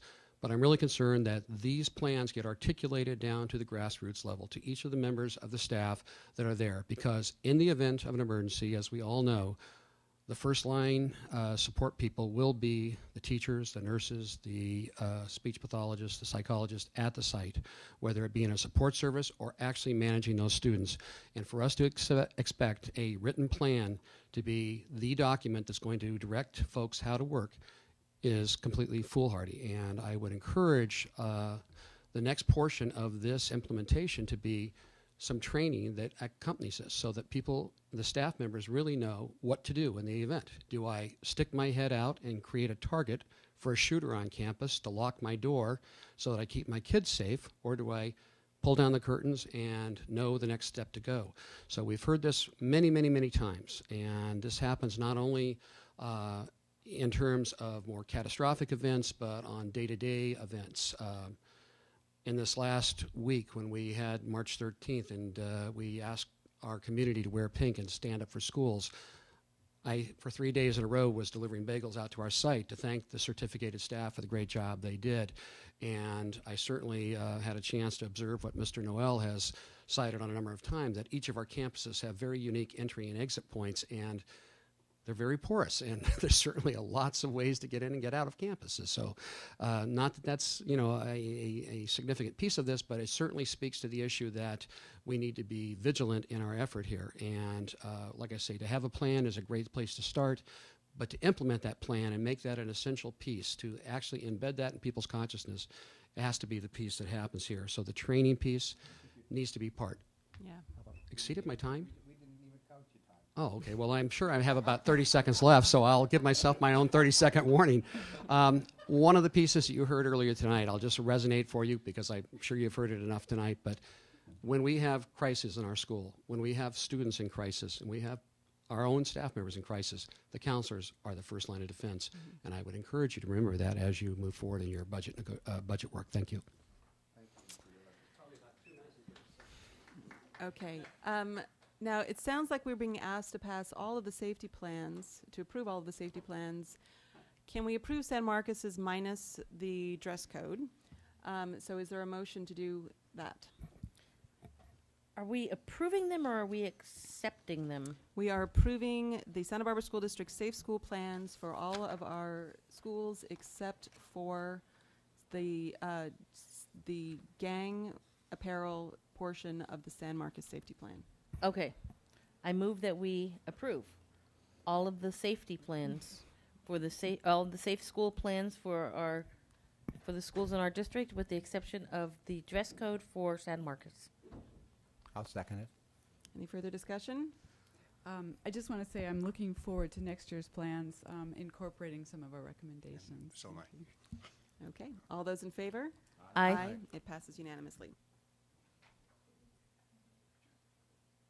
Item E3, the second reading and approval of tentative agreement language between the Santa Barbara School Districts and the Santa Barbara Teachers Association. Dr. Robertson, our Director of Personnel, will make this presentation. Thank you very much. Reasons to do a first and second reading is to allow the community time to look at a proposal and um, give them an opportunity for public comment. The first reading of the tentative agreement took place at the Tuesday, March 10th board meeting.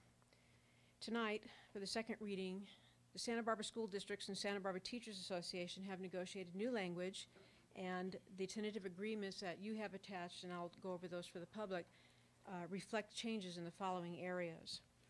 Under Article 6, we uh, dealt with hours and conditions, and we um, negotiated language for instructional planning time, establishing instructional minutes for La Cuesta, uh, continuation school, and the community day school programs, and job sharing time frame. We also negotiated language on the three-year agreement and openers. And Exhibit C was co-curricular uh, activities, a request to increase the junior and senior high choral stipend. Uh, there are, um, the fiscal impact of this would be uh, an annual increase of $6,009 for the stipends. And if you don't have any further questions, I'd like to recommend that the board approve the tentative agreements between Santa Barbara School Districts and the Santa Barbara Teachers Association. Are there any questions? Are there any speakers Mo- on this item? All right. Move to approve? Is there a second? All those in favor? Aye. It passes unanimously. Thank you. Thank you.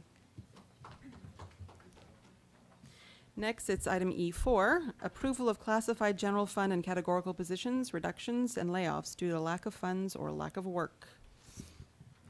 And Elaine Alvarado, our classified personnel coordinator, will make this presentation. Good evening, um, board members, Dr. Sarvis. Uh, do want to review tonight's agenda item, and, and uh, more importantly, I wanted to review the process that we go through for classified layoffs. It is very different from certificated. Timelines are different, notifications are a little bit different. Um, I do um, want to acknowledge uh, that there is an editing error on the chart that we have in front of you. Um, although it does not affect the amount or the monetary part of the um, reduction, I added, I forgot to edit out as another La Cumbre school health assistant reduction. There was only one school health assistant at La Cumbre, but again, it does not impact the number that you see in front of you.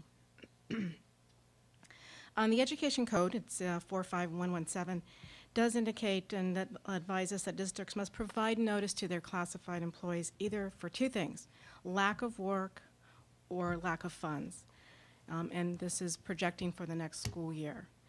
Um, so tonight's recommendation include a reduction of hours in the general fund classified positions, but primarily the, what we're going to look at tonight are the layoffs as a result of reduced categorical funding. A categorical funding, this is again not general fund monies, um, Title I, Title III, EIA, LE, um, LEP.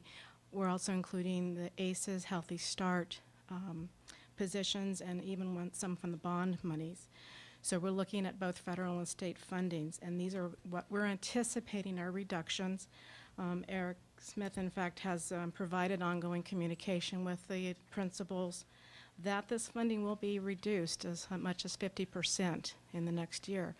So this year is, well, it's routine for us to go through a process like this, this is a, an annual notification, soft monies, we never know what we're going to do year to year on those um, certain positions. Unfortunately and predictably, what's happening with the state and, and federal is that we are going to look a little bit deeper and we're going to go a little bit more on our projections and our recommendations. Now, in years past, we go forward and bring, forth these recommendations. There's always the opportunity to rescind these re- reductions or the layoffs once we have a better idea about the funding, um, when the state budget may revise, and, and as we get closer to our actual budget. Again, there's a lot of unknowns this year. Uh, the election is also um, critical in the timing of all this. So we are looking, um, again, as uh, recommendations and th- the worst case, what we could, um, based on the predicted funding and the reduction that, that Mr. Smith has, has um, calculated.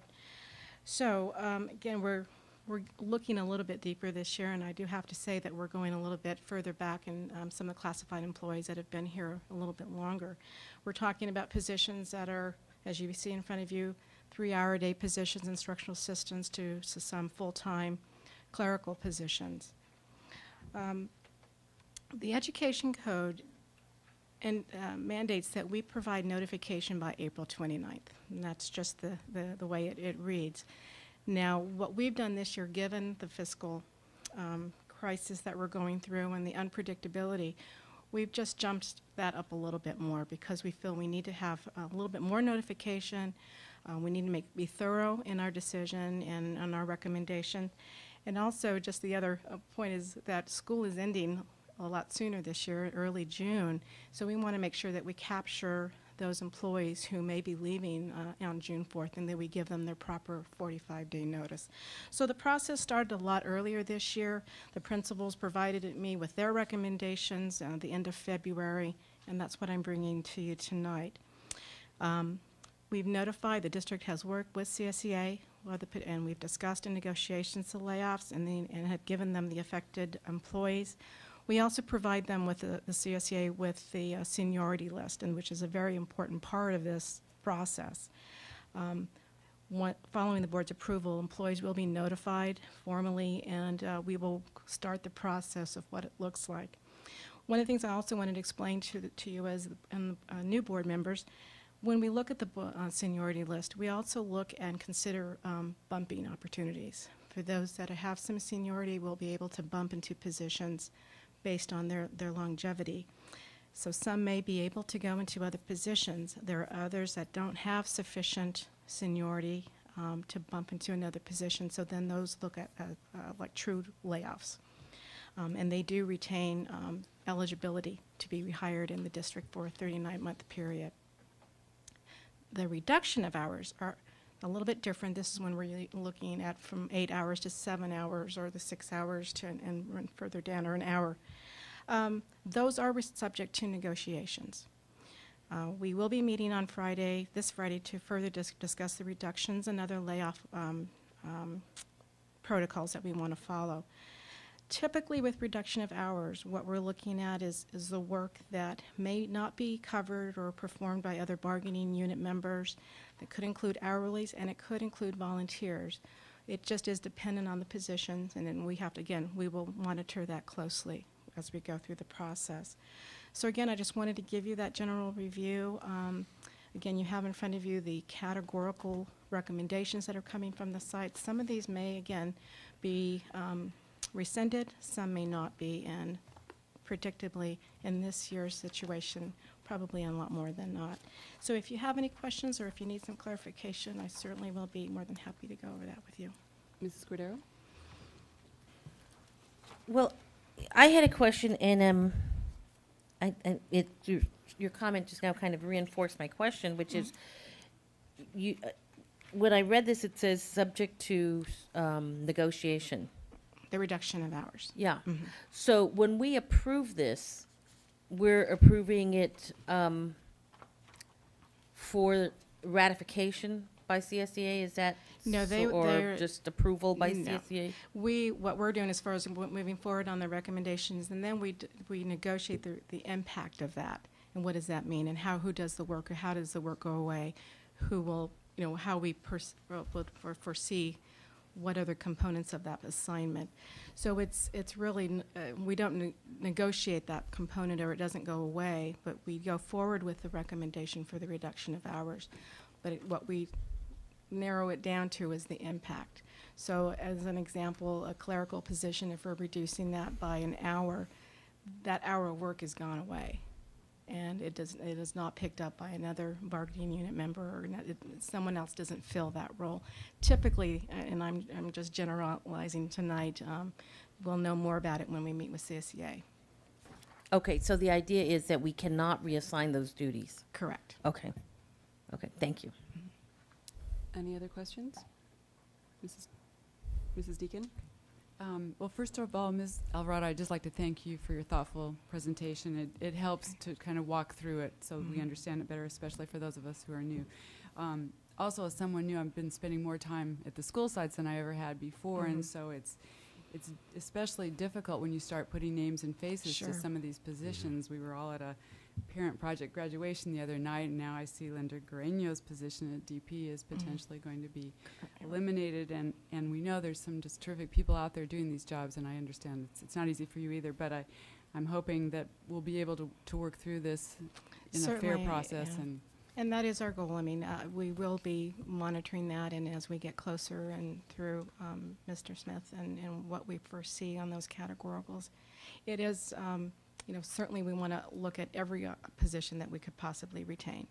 And um, um, I would say probably mission critical using that, that terminology, um, for particularly that it is a position that we would want to look at. Any other board member comments? Uh, Dr. Go Noel? ahead. Uh, Thank you very much. Mhm. Uh, I have a- I have a number of little questions like. Okay. Intervention Center Coordinator at Santa Barbara Junior High School. Mm-hmm. Could you explain what that position is? This is uh, a position that is funded by categorical fu- funds. It's not a general funded position. At the junior high, it would be similar to a suspension center where we have an instructional assistant type person, instruction, an intervention center assistant who uh, works with the students perhaps on homework or other projects, or uh, but they're under the guidance of a certificated employee. Uh, And the Healthy Start, there are two positions there. education Right. coordinator and a Healthy Mhm. Start Mhm. office assistant. Yeah. Could you explain those? Sure. This is uh, actually the f- first time that we've had to, to go into the Healthy Start ACES program. And again, um, through Teresa Weisglass, this is a projection. Um, she anticipates there'll be a cut in her funding uh, for the next year. So again, we're looking at perhaps cutting these positions. Um, it is her goal, obviously, that the funding will kind of sort out and, and she will be able to retain these positions. But that is, so that is a specific categorical program. It is. It's, it's, That it's may be cut, and these are- And these are directly, Right. okay. Exactly. That's how these positions are funded. They It's not actually. Title can- I or something like that? No, it's not. It's actually through a a Healthy And Start. that, that intervention coordinator, what, what, what funding is that? Uh, the Santa Barbara Junior High. Yeah. Uh, I don't have that, uh, I believe. I would have to get back to you, Dr. Noel. I would Right. my, most of these positions are Title I EIA. um, That's what I was gonna say, it uh, sounds like Title right, I really. right. And, but the school health assistants, all these uh, fractional cuts, Mhm. there are, that's general fund. Those, the reduction of hours um, with the school health assistants are part of the general fund. They are not categorically funded, these are general funded. We had agreed last year in our negotiations to make reductions and changes in the elementary. Um, Those were implemented um, partially this year. We followed through already and agreed upon for 0910 for, to continue that reduction um, and have all the school health assistant, assistants on parity at six hours per day. That was So- actually uh, previously approved last spring as a. I can't hear you very well. That was previously approved last spring as a budget reduction, and it took this long to negotiate and implement going into nine ten. But we will memorialize that and count it when we go through our budget reduction process later in April. Any other Thank you. questions? Thank you very much. Mr. Heron.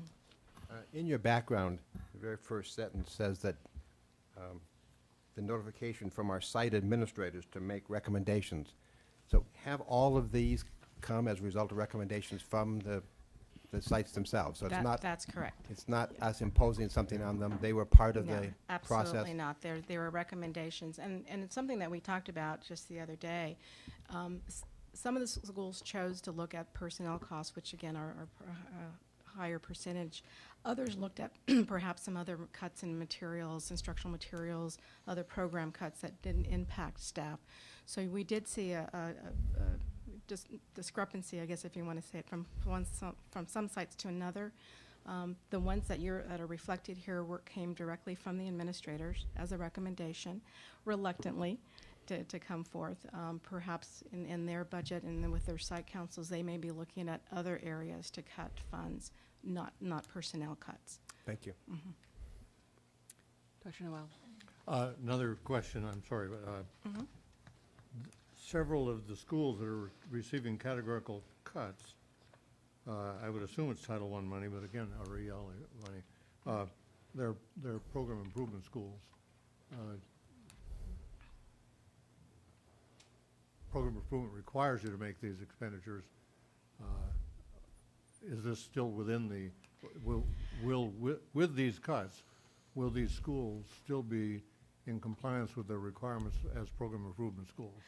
I would anticipate that that would be the case. Um, These are not cutting all of their funds. These are just some of the funds that, that are there allocated. So again, they're just trying to, to predict what, what potentially can happen. But I think, from my understanding, it still protects the programs and it still protects the, um, the PI, I- P1 status that they're in. I think it might be helpful to talk about the genesis of the cuts and the process that was used. When we knew that there was going to be flexibility among state categoricals, we actually said we think about 50% of your current year apportionment is going to be shifted. Well, that didn't materialize exactly how we projected, but what did happen is specified categoricals on the state side called tier three categoricals. We basically identified that one, we knew that it was going to take a 20% deficit or reduction of current year apportionment between this year and next year, and we knew that we would take about 30% of that remainder as a transfer from the restricted to unrestricted side. And, and that's when we talk about these categorical tier three flexibility transfers, and we'll talk more about that next month. So as a result of that, our 50% was not that far off, And so, in an effort to have their categoricals, their state categoricals, be self contained, and I hate to use this word, but it's an appropriate use, and not encroach on the unrestricted general fund, then basically we ask the sites to prioritize what they need, you know, or, or basically prioritize the use of their categorical funds. And sometimes you see Title I positions on here because of the interrelationship between state and federal categoricals but we don't anticipate any decrease, and we actually anticipate an increase in federal categoricals. So the layout or the list is a little bit confusing in that regard, because what we're really talking about is what the impetus for this list was basically the decrease in state categoricals. So, I guess what I'm trying to say is we don't have, um, we don't think it'll have any effect on you know the program improvement plans or status of those sites. Thank you. All right, I do need a motion to approve the classified general fund and categorical positions reductions and layoffs due to lack of funds or lack of work. So move. And I need a second. Second. With no further discussion, and I don't believe we have any public comment on this item, um, um, yes. Um, there, there has been an edit and just, um, I don't think it changes anything because that person doesn't exist, but. Right, it, it, there's not, it's um, just there- a, there an is extra just line. a deletion yeah. of that line on that first section. Um, so all those in favor? Aye. Aye. And it passes unanimously. Thank you. We will now move to E five, board action on student expulsion case numbers. In case 0809-49, I move that we ap- approve the stipulated uh, agreement for a one-year calendar, uh, one calendar year expulsion. Second. All those in favor? Aye. Aye. It passes unanimously.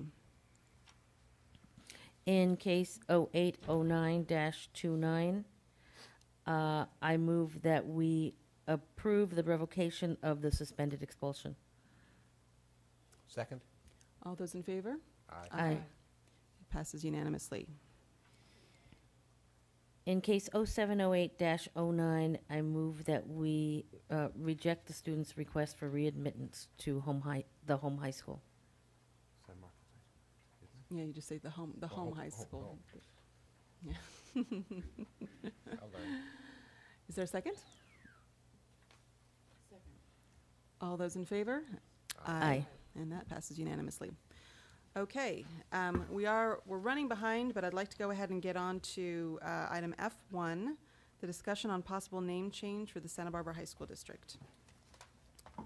Well, the board heard a proposal on renaming the high school district at the January 27, two thousand nine board meeting. Lanny Ebenstein, uh, spoke to the board. I believe there are two issues involved.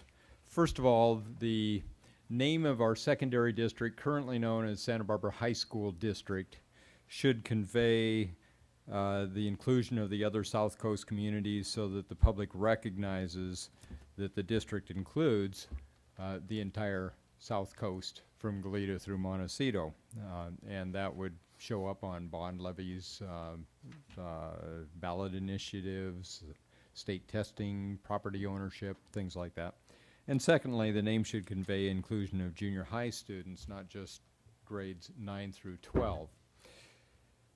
Um, This is, this is actually in a different context because of what we did just a few years ago in becoming a single resolution district.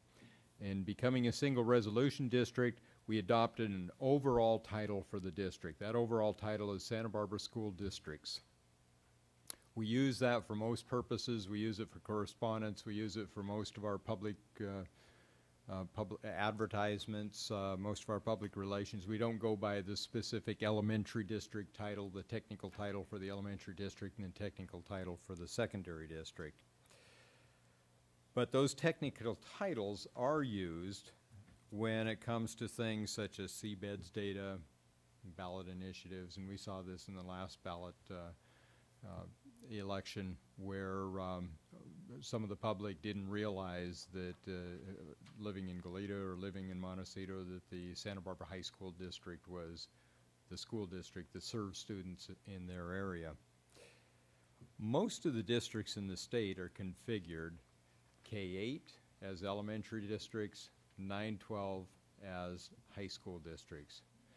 We adopted those same titles, and that was all done years ago.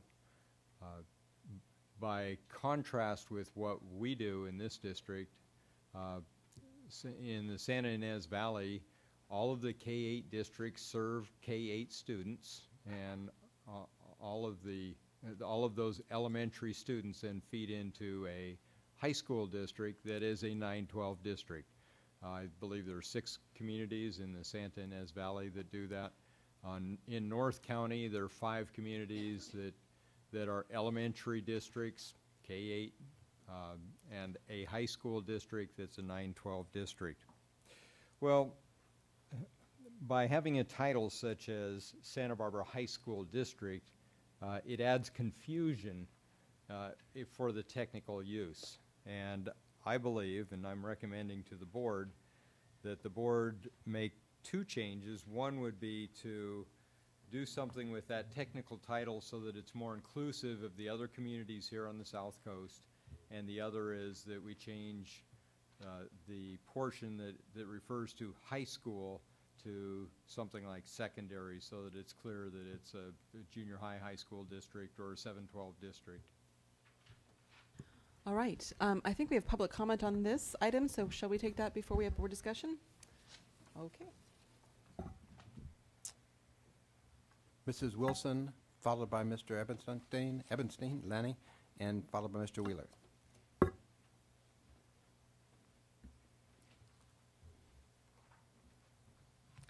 Hello, I'm Laura Wilson, um, and I just think this is a really good idea, um, mostly for just simple clarity. And um, I'm sure all of you have been at meetings around town talking about school stuff, and it's so hard to explain to people when the names are so close. You find yourself getting your tongue all twisted up in these districts. And, um, you know, it's bright people simply do not get that they're, that the entire, you know, South Coast area is, outside of Carp, is part of one secondary district. Very bright people do not get it. I was at a meeting, they were having major discussions of how basic aid was going to affect it because of what the, you know, and you have to go, wait a minute, different district. Oh, you mean we don't have to worry about that? Not this week. so it's just, it's really confusing to them. And um, I, I just think it would help tremendously for clarity. Um, I like the South Coast Secondary District. I put my little plug in for that because it isn't like any other name. It doesn't, it's not confusing at all. People from Goleta through Montecito, Hope District, they'll all get that they are going to be part of, a you know, this secondary entity that includes them all and is not the Santa Barbara Elementary District.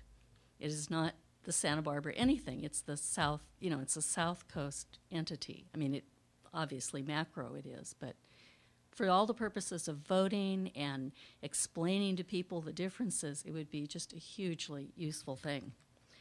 Um, also, I think we get better press coverage. it's just easier to, to discriminate these things as they're talked about when you've got a different handle on it.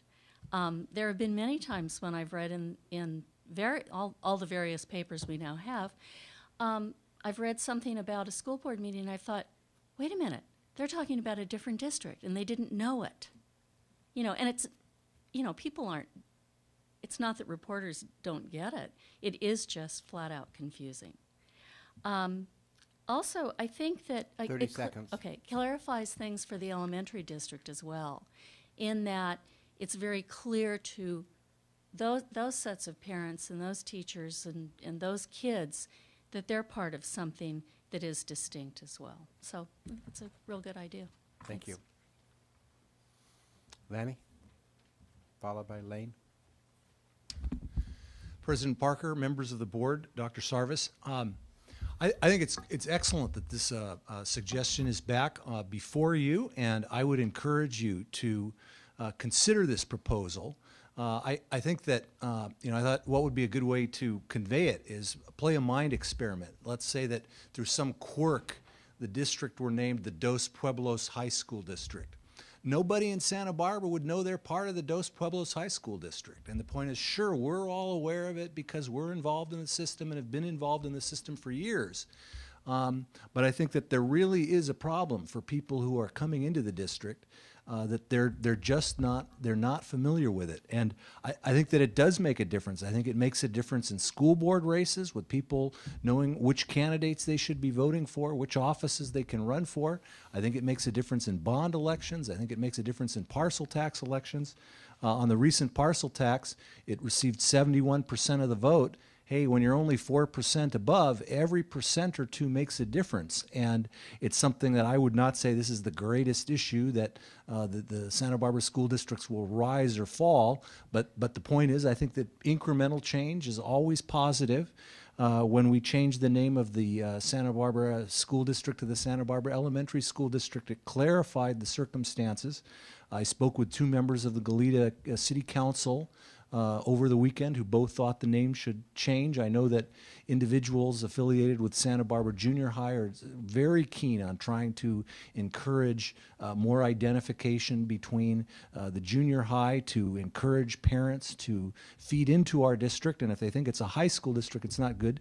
The only suggestion I would make as, as an addition, I, I think it should be Santa Barbara, should be in the title. So I, I think either the names, Santa Barbara Goleta Montecito uh, Secondary District, uh, uh, Santa Barbara Area Secondary District, or another possibility I thought would be the Santa Barbara Coast Secondary District. So, in any event, I think that any of those would be an improvement on uh, what there is now. I, I think that Santa Barbara Goleta Montecito would be the most descriptive. Thank you. Mr. Wheeler? I'll take off my union hat and put on my parent hat. Um, in a time when we are uh, under a constant uh, veil of uh, budget considerations, I believe this is an excellent opportunity to have naming rights. I could see a $25 million naming right being sold to the Oprah Winfrey Foundation, and this being the Oprah Winfrey uh, School District. I think we have to think outside of the economic box here, and this is certainly one of the ways to do so. I think there needs to be staff, and if this is a secondary uh, involvement, I think student uh, involvement should be heard on this also because the kids are the ones who wear this, and the teachers are the ones who wear this on a daily basis. The third, and I think essential piece of this consideration needs to be acronym. Because as I sat there in my feebled state and just concocted a couple of these, I found out that one uh, has the uh, acronym of SBASS. D. So I'm not sure if that's really the moniker we want to take forward into the next, excuse me, next decade. And I thank you for your time. Thank you. Oh, thank you. Board members. Any comments, suggestions, other names? Yes, Dr. Noel. Yeah, I, I, uh, I like, I, I like that bottom one, Greater Santa Barbara. I, I think the problem with South Coast is that there is Carpinteria. Uh, and, uh, uh, it doesn't make a great acronym. Haven't, haven't given it that much uh, careful thought, Elaine. Uh, But, uh, but it has the word Santa Barbara, and I agreed with, uh, with uh, uh, the thought that that ought to be there. Uh, That's all. Other members? Mrs. Deacon? Well, there's there's a number of ways to look at this. I mean, either less or more, basically. um, I mean, you can be all inclusive and have a very lengthy name, which to me seems overly cumbersome. We could shrink it down to the South Coast District, um, but then there is the confusion with Carpinteria. Um, actually, the Santa Barbara Coast Secondary.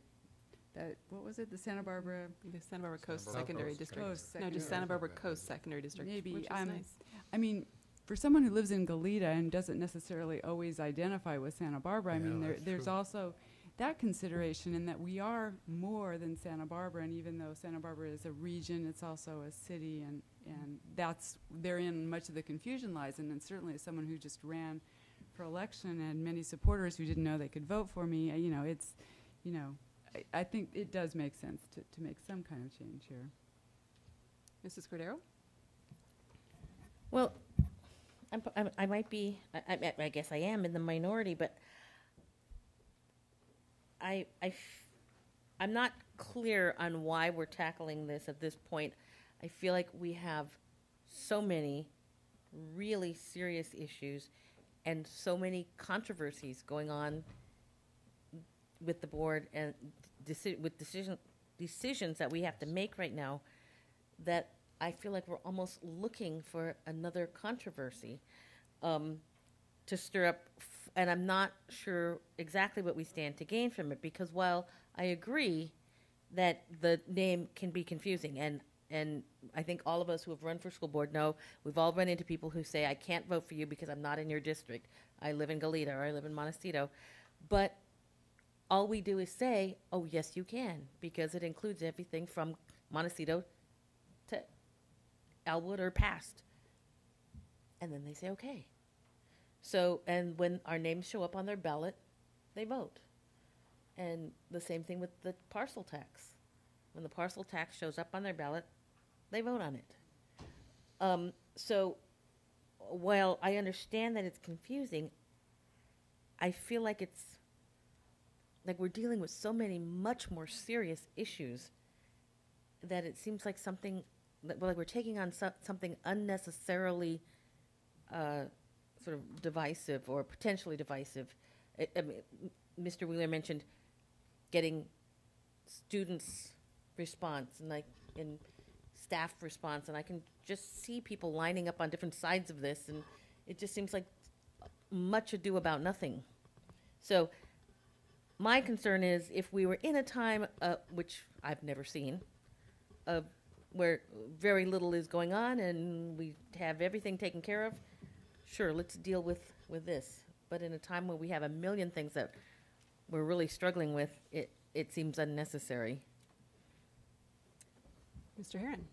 Uh, Thank you. I, I agree a lot with uh, Mrs. Cordero. I would like to see a game plan. If we did decide to go forward, what are the steps? What kind of input? I mean, what would be a game plan to gather and, and, and then decide whether that process is worth it? Um, because, you know, I know that in everything I did in the campaign, it was Santa Barbara, Goleta, Montecito. I mean, I just pushed that. And so if I had, if I had to choose one of these, that's the one I would choose. It's a long name, uh, but it sure tells people exactly what it is.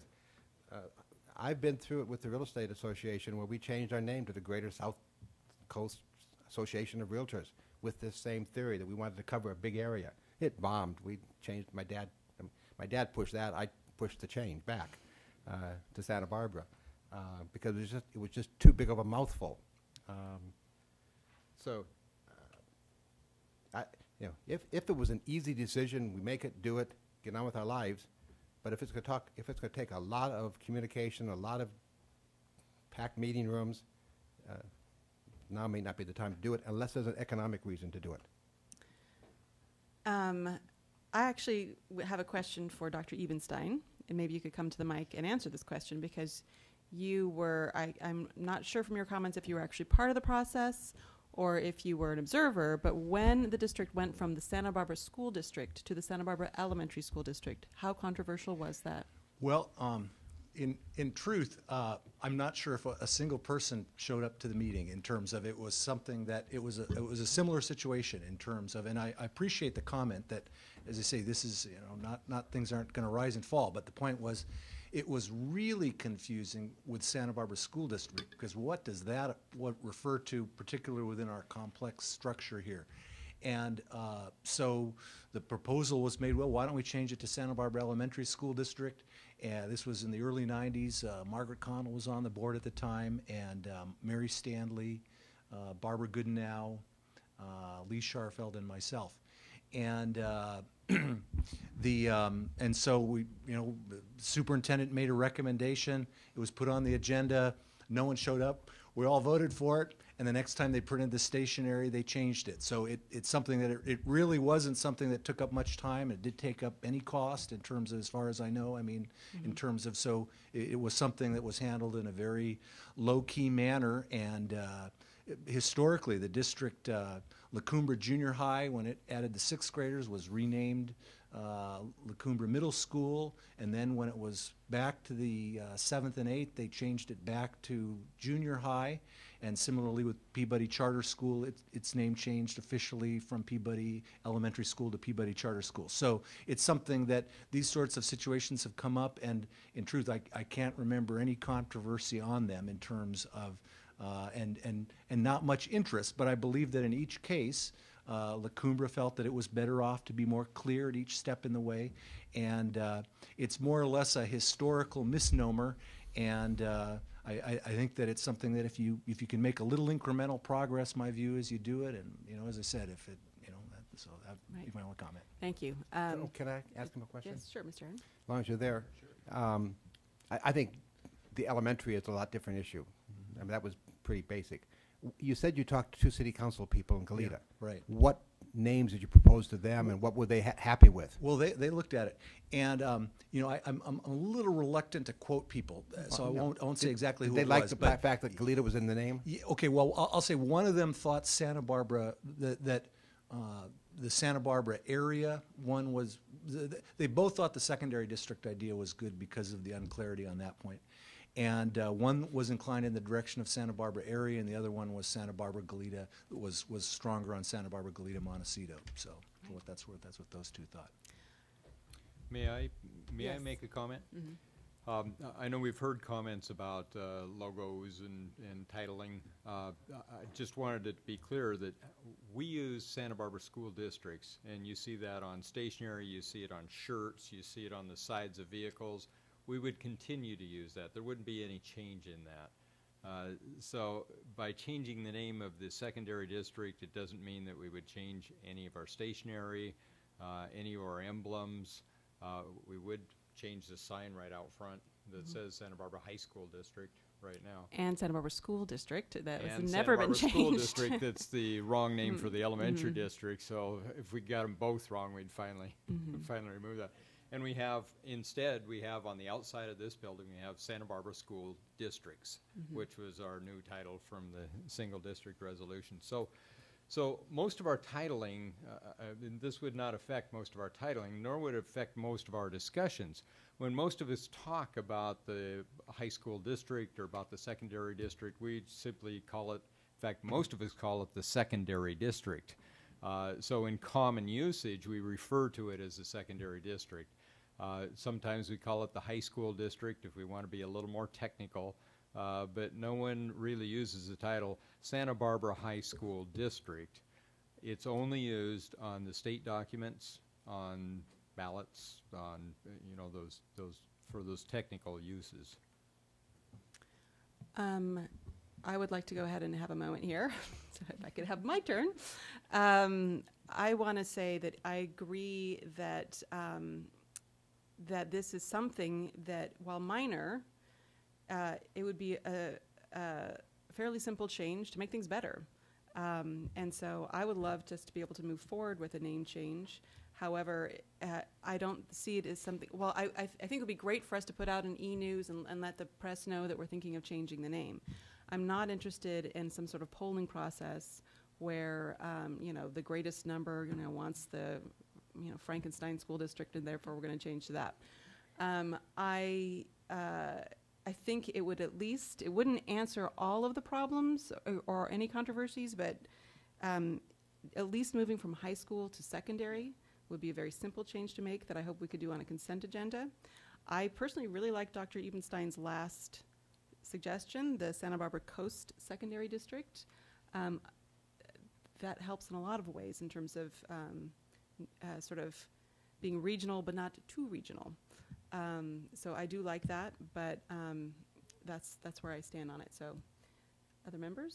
Well, I was just going to say, too, at a minimum, I think we can put secondary in there, but, um, but I still am also open to a more inclusive name. Um, maybe I'm partial to South Coast, just because I used to be on the South Coast Community Aquatic Center. But, um, but at any rate, I, my one concern about greater is that um, as people say search on the internet for titles and things, we probably want maybe a more specific word to come up first. That would be my only concern about that possible name. Right, and that's a concern too. If you just use South Coast, not only is there issue with Carpinteria, but it needs to pull up Santa Barbara first when you're looking on the CDE codes and all those things. So, other members?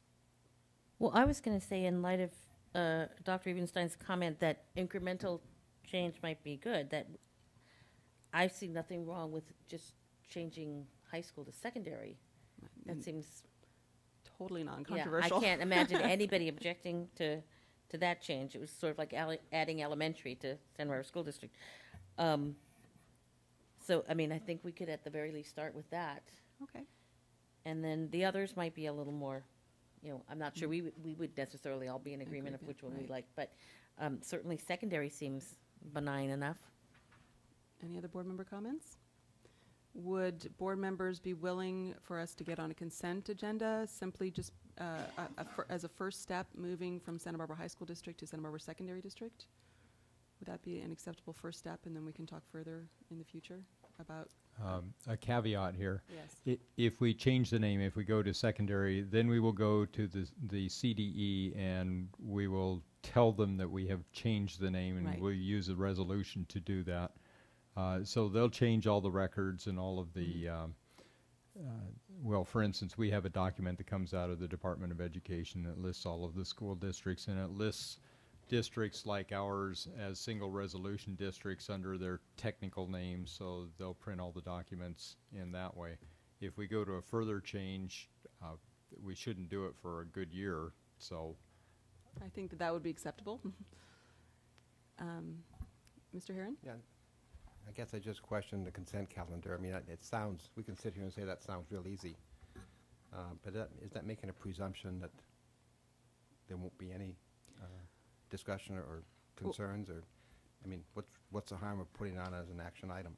um, just in terms of being speed, because we have so many other things going on, we could always pull it. I think that it'd be great if we put it out in e-news, that the board is considering changing the name of the Santa Barbara High School District to the Santa Barbara Secondary District and to local media.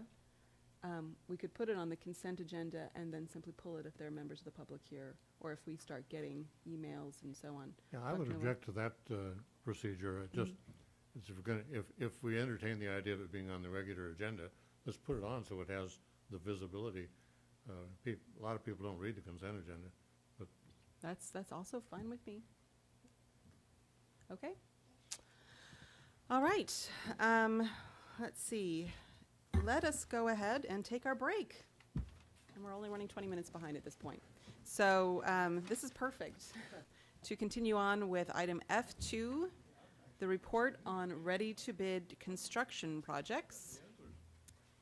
And here's Dr. Sarvis to introduce Mr. Hetyonk. Dave Hetyonk is the Director of Facilities. Dave? Thank you, Dr. Sarvis, members of the board. Uh, First, I want to apologize that uh, for this agenda item, I started off with uh, referencing the board brief, and after it got moved from agenda to agenda to agenda, the attachment in this agenda ended up not being with it. So the first part of that board brief is up on the overhead. Uh, Construction projects that are ready to bid. Uh, For the elementary district, currently, this summer, we plan on doing three small projects that are either out to bid or will be out to bid soon. Uh, At Peabody Charter School, we're required to do a modification to install an entry ramp at the front of the school. That's a result of our Mitchum lawsuit settlement. Uh, We're also required to put an additional restroom at that site. That's on hold. Uh, The vendor's in bankruptcy. We have legal counsel reviewing uh, the contract on that. We've only paid them a minimal, minimal amount. They have, they're not only in bankruptcy, that they did not respond to DSA on getting their plan back check, and DSA canceled the application. So we're truly back to square one on that one. Uh, We've notified Logan Hopper, our, our lawsuit compliance person, and, and he's given us extension while legal counsel uh, deals with it. We just want to make sure that we're clear before we go to another vendor uh, to get that portable delivered and installed. Two small projects this summer at McKinley Elementary School, uh, a stage lift a- and a- a, little ramp work. Uh, other projects that are ready to bid, uh, Washington Elementary School portable reconfiguration, the final phase of that uh, is ready to go, is- and we're working on finding a funding source. In addition, uh, award, uh, in, I believe it's tonight's agenda on the contract for Franklin Elementary School uh, heating ventilating replacement. This is Williams lawsuit settlement money. It was a grant. The money's in the county treasurer. We have it. We can't use it for any other purpose or at any other place. Um, Coming back to the uh, agenda uh, document, when I talk about issues with the elementary district, uh, there are the, the three, the Peabody Charter School ramp, the McKinley stage lift that I mentioned there. Uh, Again, repeating, the restroom is still being reviewed by legal counsel, Washington ready to bid.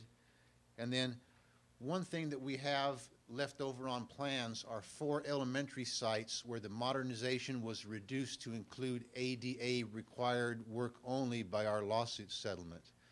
Peabody, the second phase of their modernization, uh, Adams, Cleveland, and Franklin.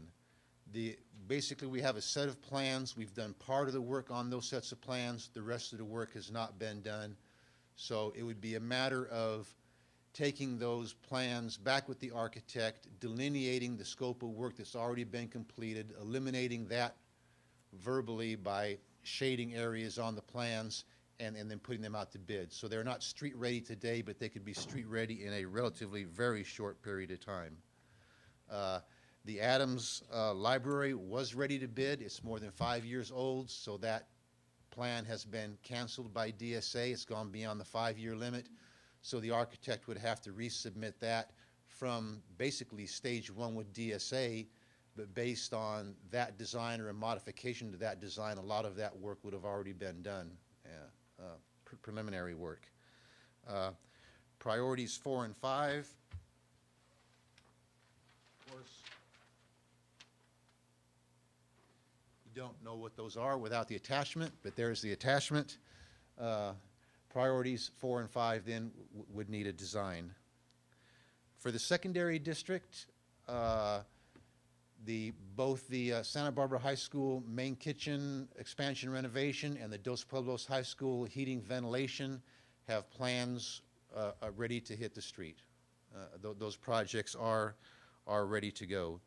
Uh, The remaining priority two and priority three projects um, have almost complete design. They're part of most of those are part of another package where we could pull it out, or the design has, has progressed to a certain point, and then we put the architects or the engineers on hold, or the project would be a simple design and could be ready and on the street in a relatively short period of time. And I know we've talked about stimulus, stimulus money coming down. Uh, Myself uh, a- a- and Mr. Smith and- and Dr. Sarvis ha- have discussed this almost on a daily basis. Uh, We know money's coming. We don't know how much. We don't know exactly when. We don't know uh, how much is going to be passed directly to schools, how much the state will be able to put their hands on uh, to stabilize their budget rather than passing on to schools to stabilize their portion of the budget. Uh, Those, we're waiting for the, basically the federal government to write the rules on how the money is to be distributed. Well, I was going to add something, but Dave's, I think, I heard think the speech a few it. times. Yes. I've listened to you. Well, we have none of the details. Uh, A, a- a number of board members attended a dinner uh, where there was a speaker that said, yes, yes, this money is coming, but we still don't know anything about it. Okay, board members? Mrs. Deacon? Um, I would just say my biggest concern here would be that if money was available and we didn't have a way to spend it because we didn't have plans ready, we'd be kicking ourselves. So, I mean, I know that's a worst case scenario, but I, I just want to make sure that if, if money does come, we're ready to spend it. Other board members?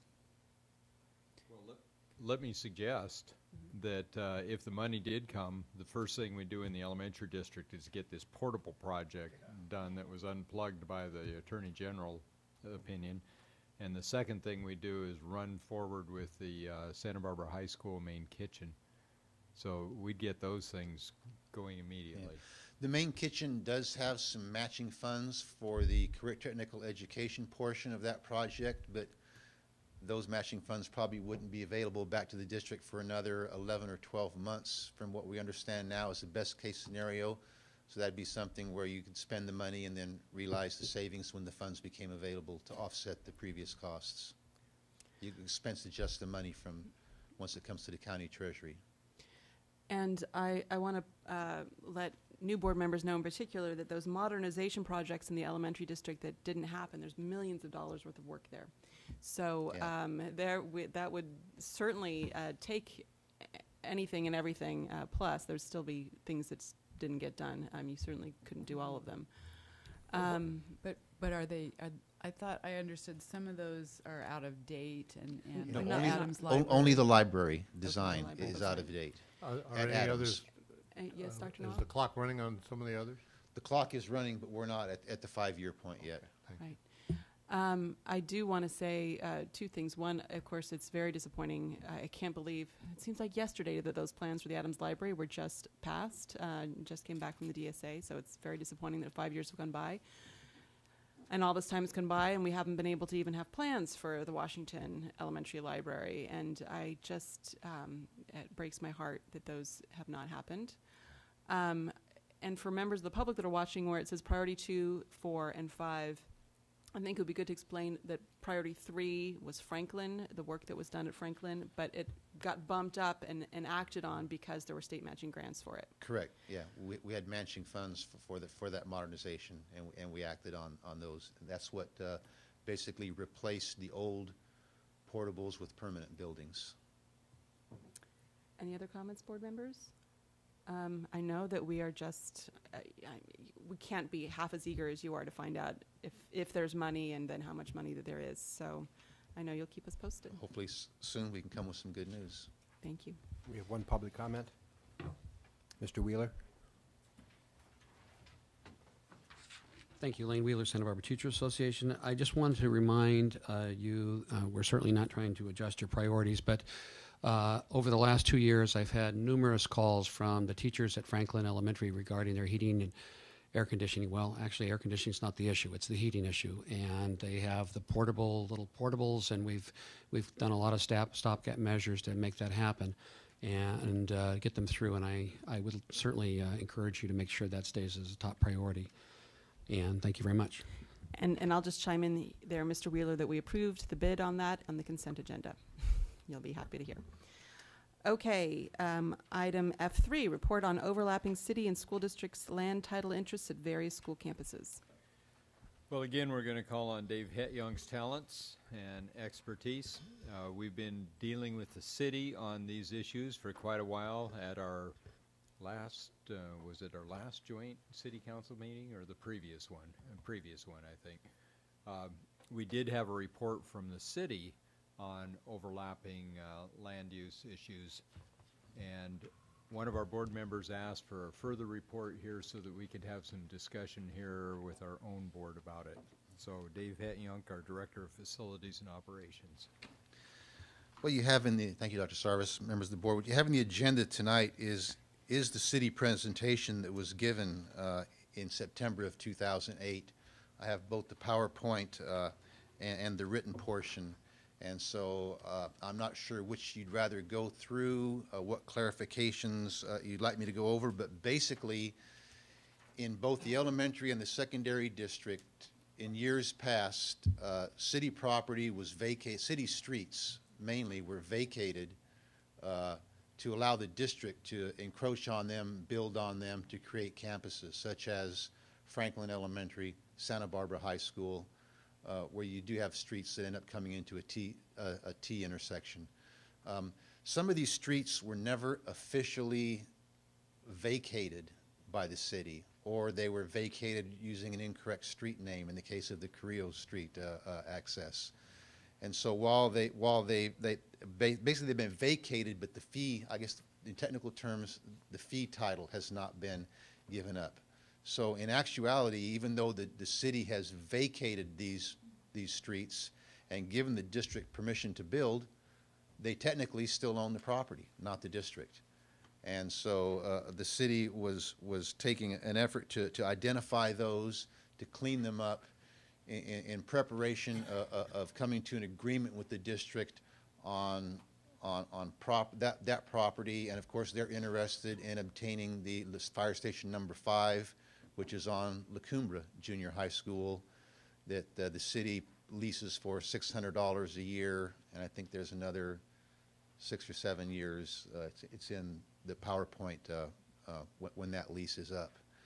Uh, we also have the plot of land at Franklin Elementary School, the other non-street issue. the- There's a plot of land at Franklin Elementary School where four of district-owned portables are on, I would call it the west, to the west end of the asphalt playground. That area is, belongs to the city, was uh, a a easement that the district was allowed to use for uh, garden and pathway. And years before I came to the district, the district placed four portables on that property. That was not part of the agreement with the city that it could be used for placement of portables. It was supposed to be used for walkways, pathways, and gardens. Dave, Dave, I'm wondering if board members want to see that so that they see specifically what we're talking about. So Or I, I can go through here and we can talk about, uh, at S- at Santa Barbara High School, uh, if you can, you'll see right here Carrillo Street runs underneath the pool and the gym. Okay. When this street was vacated, instead of using the street name Dave could use a microphone too. Thank you. I know you I always remind everybody else, I don't forget myself. hands, When, when, when the street was vacated, the- the- basically what the city has found out that they, they inserted the wrong street name. So instead of vacating it th- at this point, it was vacated at this point.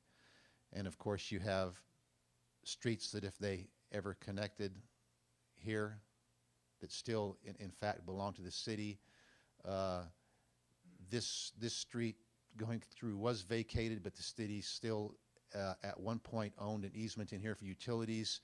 Uh, They gave up the water easement for that. We now own that section of, of water line when we sold the well over here to the city. And so those are some of the issues at Santa Barbara High School. Santa Barbara High School is just crisscrossed with right-of-ways uh, that have not been, Um, not been rectified. Let me see here, uh, Bering Strait. Franklin Elementary School, these four portables right here are the ones that are sitting on city property that we have, that, that they allowed us to use as an, and is an easement for uh, walkways and pathways. I'm sorry, what street is Uh, that? Let me see, it's on here. Let me see if it's on the next slide. Well, I know Mason's down on, down on the, the right, far right. Yeah, this, it's this item. But it's the one where if you, if This you made the item right right on here. Mason to go to the street, it's the first, it's the left that just right butts up now next to Sky, to the Cesar Chavez School. Yes. And then, and then, uh, this portion here of this street was never vacated, and then part of that street is where we have, uh, four temporary portables sitting for Cesar Chavez that we hope to turn back to the vendor soon.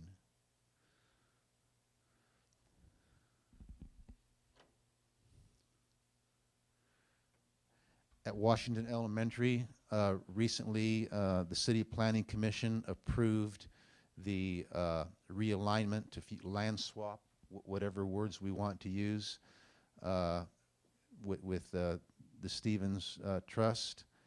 And so the next step now is for the district to take this parking lot design, review it one last time with the school, submit it to the Division of State Architect, then go back to the city for a coastal permit, and then uh, uh, enter into a final agreement with the developer, and hopefully uh, next summer we'll see some construction for the new parking lot.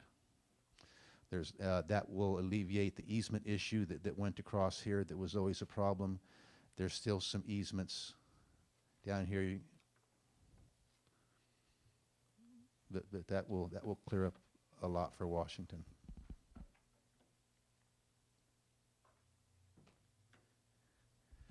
At La Cumbre Junior High School, we own the property that the fire station sits on.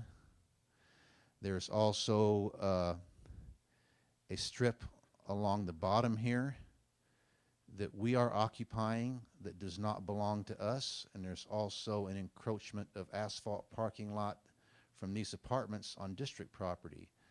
This easement here that we're sitting on belongs to these apartments and part of their parking lot encroaches on our property. So right now we're kind of encroaching on each other and I haven't really pursued that any further, uh, waiting for the city to come up with a recommendation for the fire station and maybe we, then we contact the, the owners of this and, and find out if we can recommend a, a reasonable resolution. But, but uh, this part of, of, of the base, in fact, the baseball backstop is, is, is half on property that doesn't belong to the district. What, what is that long strip there that doesn't belong to us? This, this, this, this long strip here is an easement to get from, oh, this, this dotted line is, is actually the school district property. There's two parcels. But on this side of the property line, uh, there's probably a 12-foot wide section that we're using as playground that our irrigation lines set on and that this backstop sets on that, that is not district property. And- And what is the de- district design and alteration that we're going to be responsible for taking care of? District design and alteration. Of a um, Redirect and avoid drainage of water onto the fire station number five property to avoid water damage to city facilities.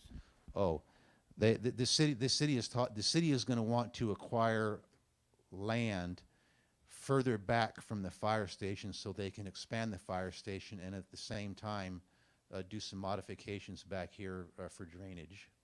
But This it is, says- this is, this is the city's PowerPoints, not mine. Yeah, but it says we're responsible for it, so. Well, right, well. It says we're going to design it and Well, alter th- it. that- That's what the city's hoping.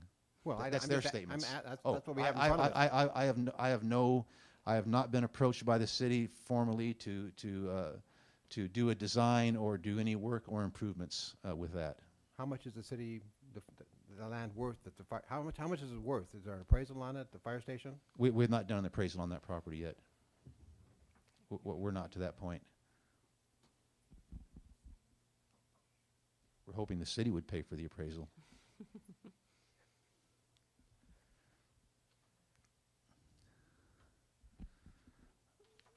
Uh, Sa- Santa Barbara Junior High, uh, basically, uh, we still have easements that run through the junior high where the street was vacated. You also, at Santa Barbara uh, Junior High, uh, where is it?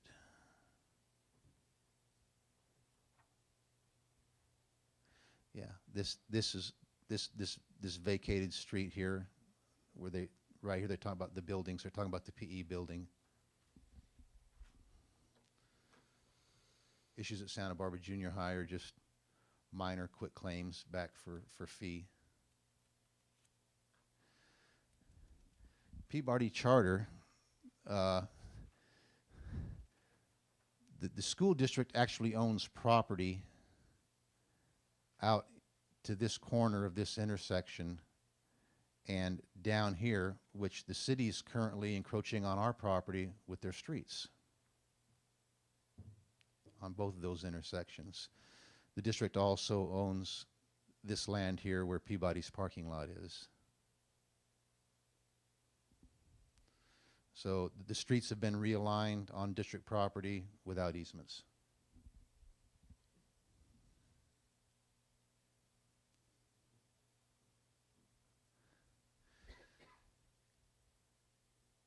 Cleveland. I'm not sure where the the vacated portion of uh, Bella Vista Street is.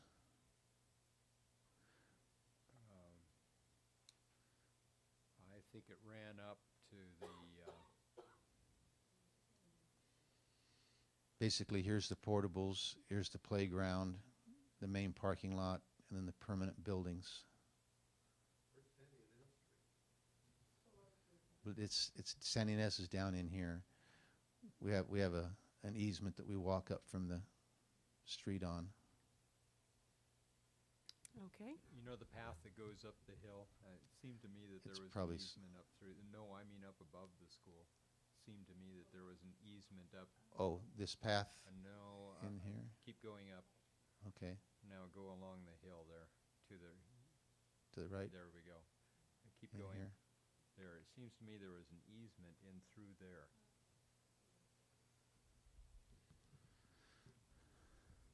Okay. I'm sure Cleveland would be just, a again, one of those minor issues where, Mhm. where the street was vacated, but, but it was never quit claimed or, or per fee.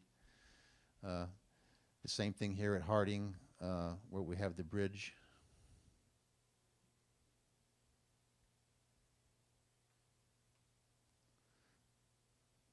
And then the city's done some recent, just, you know, uh, storm drain improvements uh, around Harding that have really helped that school with, with drainage when it have the heavy rains.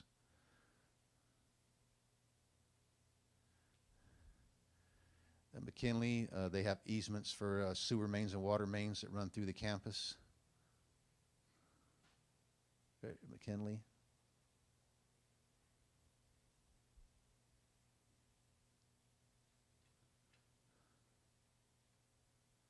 La Colina, the city has a sewer, just, just a right of way for a sewer that runs across La Colina.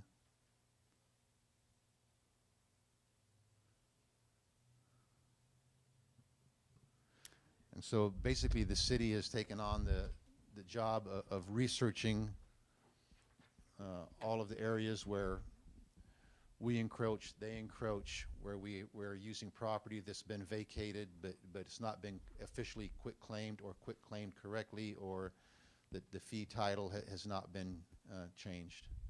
And so they are in the process of, of finalizing uh, this report, uh, of going back through and, and double checking the easements, and then uh, their next step, I guess, is, is to, to come to the district. Uh, and I told, I recommended that the, the contact person for this be Mr. Smith, that uh, any proposals for, for anything would, would need to be uh, taken to Mr. Smith at that level, and, and, and Eric, of course, would, would discuss it with the superintendent, and then if there were proposals which we thought were in, in the best interest of the district, uh, we discuss them with the board, and then hopefully at some point in the future, there'd be some sort of uh, action at a joint meeting to, to clean up the easements and the fees. And we know that the city wants the fire station, and we know that we have portables sitting on city property at Franklin. So we'll see what proposals come forth.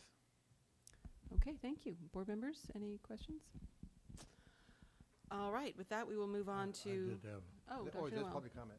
Oh, there's public comment on this. Oh, goody. We wonder why there's two people in the audience. That's very unusual. Um, Laura Wilson, followed by Lanny Ebenstein.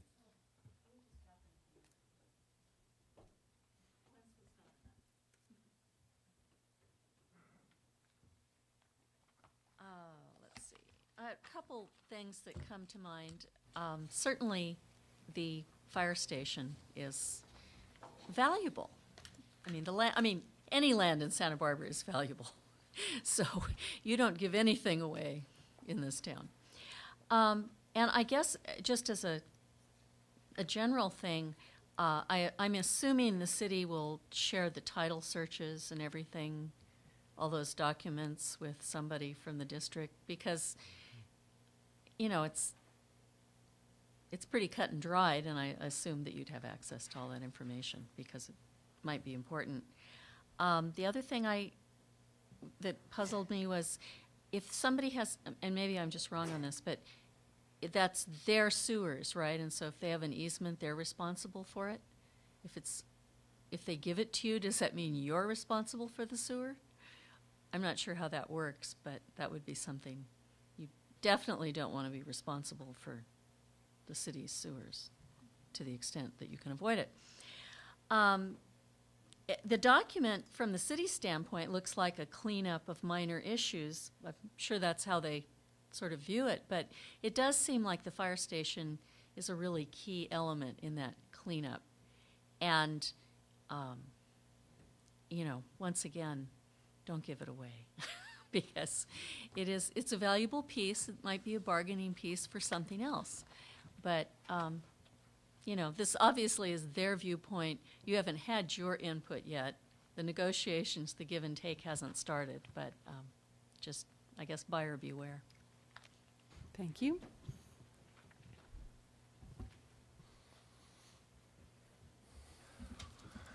President Parker, members of the board, Dr. Sarvis. Um, well, I, I think the relationship between the city and the school district is obviously vital, and it's a generally good relationship, and it's something that truly is. These are the two leading institutions in the community when it comes to community services from so many perspectives. And uh, just just sound off a little bit. I, I have always felt that the district has given a little bit more than the city, and you know, once again, maybe that's my perspective, but it, it's something that I, I think that's objectively the case. And the uh, you know, I think for example of the joint use agreement between the city and the school district, there's sure a lot more city use of school district facilities than there is school district use of city facilities. In fact, I would guess it's probably you know 10 to 1, 20 to 1, 30 to 1.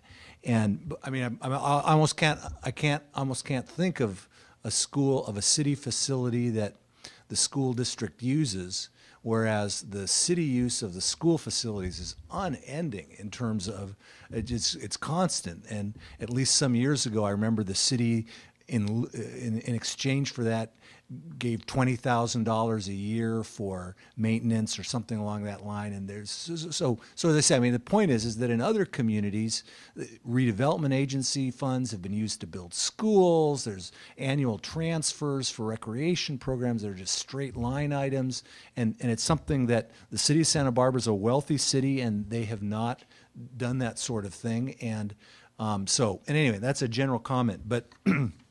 I noted that the, one of the comments was about uh, Washington, was that in 1991 the city granted the district the parcel of land adjacent to Washington School. Hey, I, I was on the school board at that time. I had not come to speak to this item tonight, but having been here for the other item, noticed this. And I'm, I'm almost positive that the district paid $50,000 for that land and that we had some negotiations with the city. And I, I think that would be important to find out because it you know, might help to indicate sort of the general tenor of the document. And it's something that um, re- really the, the land issues that the district would be getting are easements that white weren't quite done quite rightly dec- decades ago, but the city's saying, well, we'd like the fire station, maybe a little bit of land next to it. D- don't underestimate the value of that land around Peabody too, because those were some issues of how that site could be improved, and, and it's important. And, and then uh, it's it's important that uh, uh, you know I, I, think these should be looked at in a in a larger uh, in a larger context, and it's something that I would not rush precipitously into this, but I, I think that it should be part of larger discussions on the Calle Cesar Chavez property, perhaps on joint use and those sort of things. Thank you. Thank you. And Dr. Ebenstein, I've been getting to spend some fun time in the junior high school archives of the board minutes, so this will be something else that would be good to look up. Thank you. Um, any other board comments on this? Dr. Noel? Is there, is it possible, possible to put a monetary value on the city's interest at the Franklin site?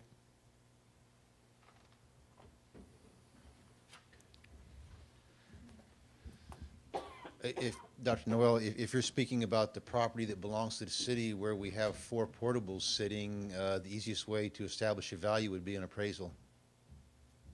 But, but, uh, we, we've not commissioned an appraisal for that, nor to my knowledge has the city. Because uh, the reason I ask is that on, the- on some occasions when I've mentioned the uh, fire station and I'd, I did not mention the land behind the fire station, uh, city folks have immediately talked about Franklin. And it's as though, like, it's as though that's a wash. And, uh, and I would love to know. uh, Uh, I, I don't, I don't believe I would assume that anything is a wash without valid appraisals. Good to hear that.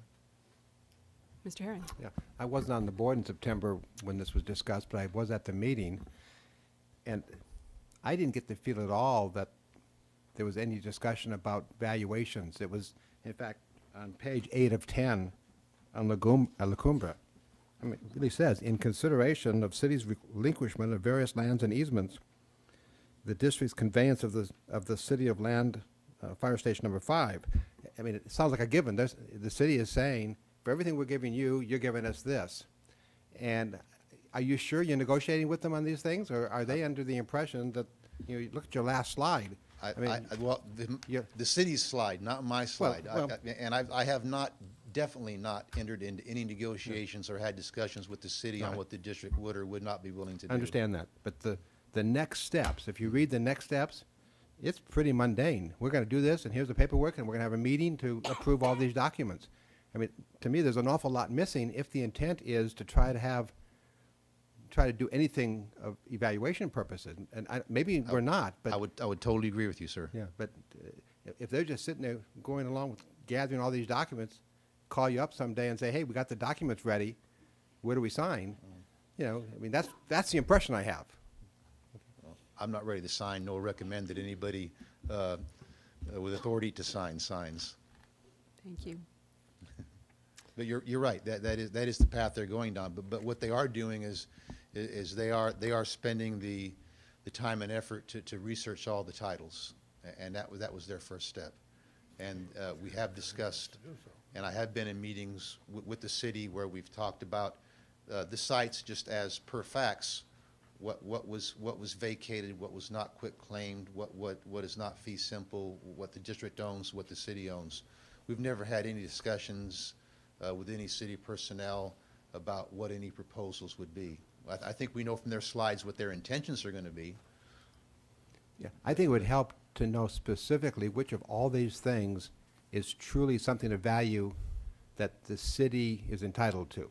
A lot of this stuff is just mistakes. Right, correct. So wh- which ones of, are mistakes and that there's no way they would ever get back the streets on Santa Barbara High School? I mean, that's not, not gonna happen. No. But how and much, how much are they, do they have that is rightfully theirs that we're encroaching on? And, and what is ours and what's the value of that? I, I think, I think there's three areas. There- There's the areas that we saw at Peabody Charter, there's the areas at Franklin where we have portables on their property, and there's uh, the fire station at La Cumbre that we know that they'd like to obtain. And, and to me, those are, those are the three main issues. The rest is just cleanup of old vacations that, that, that, in my opinion, the district should not be, you know, paying for that property. It's already been vacated. It's just a matter of going through and taking, if, if you went nine, nine tenths of the way in doing it uh, 30 years ago, 40 years ago, and, and for some reason, nobody ever did the last tenth, and now it's coming to light that no one did the last tenth. That was particularly came to light when we were going to uh, improve the street at uh, Santa Barbara High School to get to the ADA parking uh, down by the pool and the football field. That ADA parking is required as part of our lawsuit settlement, and we had to repair the street to be able to get down there. Well, the city says that's our property, so we said, fine, improve the street. And then we went from there. All right, uh, Dr. Noel. I forget, never mind. It's not Okay. on board. All right, thank you, Mr. Hetyonk. Um, let's move on to item F4, discussion of separate youth violence steering committee. Well, one of the board members asked for this item. Um, Bob, would you like to speak to this? Yeah, it's, uh, sure. Uh, The context, if I recall correctly, was the, the creation of the uh, committee overseeing the uh, gang intervention specialist position. And, uh, and the thought, what inspired a concern of this was the feeling that that process uh, is, tends to be dominated by agencies. It, it- for a long time had, I guess in its first phase, did not have much public participation, which uh, uh, kind of was expressed at meetings. And, uh, and most importantly, that the mindset, at least ju- judging from what's been done so far in that committee, the mindset is more intervention as distinct from prevention, uh, and looking more at the older kids and, uh, you know, like the ones who are already in big trouble, rather than looking at uh, the kids who uh, are at risk of getting into trouble. And, uh, and I know part of that, that discussion had to do with uh, alternative conceptualizations of the, of the process, particularly the ones you find in that uh, Surgeon General's report. And so the, at least from my point of view, uh, what I think would be useful for us to consider is creating a separate uh, body, committee, uh, I don't know what to call it, uh, would have this ex- exclusive focus on prevention uh, programs, focusing particularly on, on schools, which is our business. I think that's everything I, every thought I had on the subject. I, I, I know that the, uh, uh, that the Esperanza group uh, was uh, quite interested in that, and I know, I noticed they're not here, but I think it may have to do with the hour. Uh, Um, Before we take board member comments, uh, do you have anything that you would like to chime in with, Dr. Sarvis? Well, uh, perhaps we should describe some of the things that we are doing, because there are things that are appropriate for all students. Uh, For instance, our curriculum on Too Good for Drugs and Violence is really designed for all students.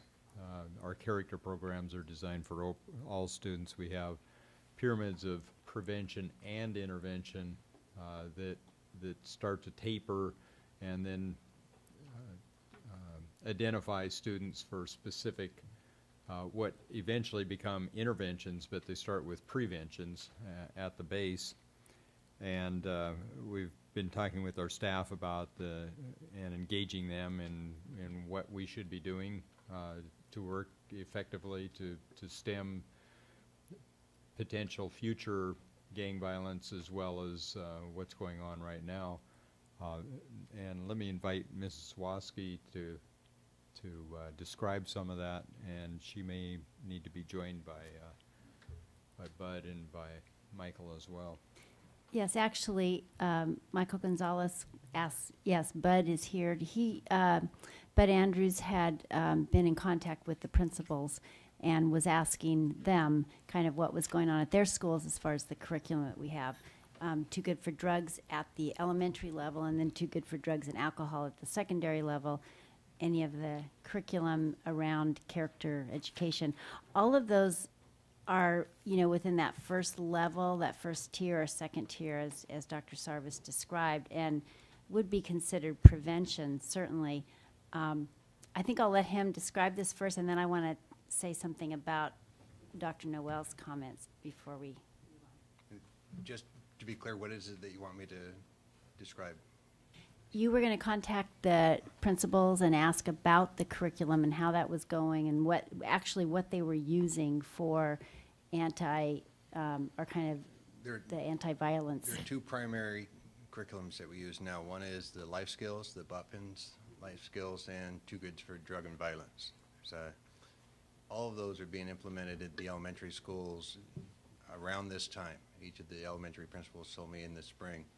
This was a question that I asked back in September for that program.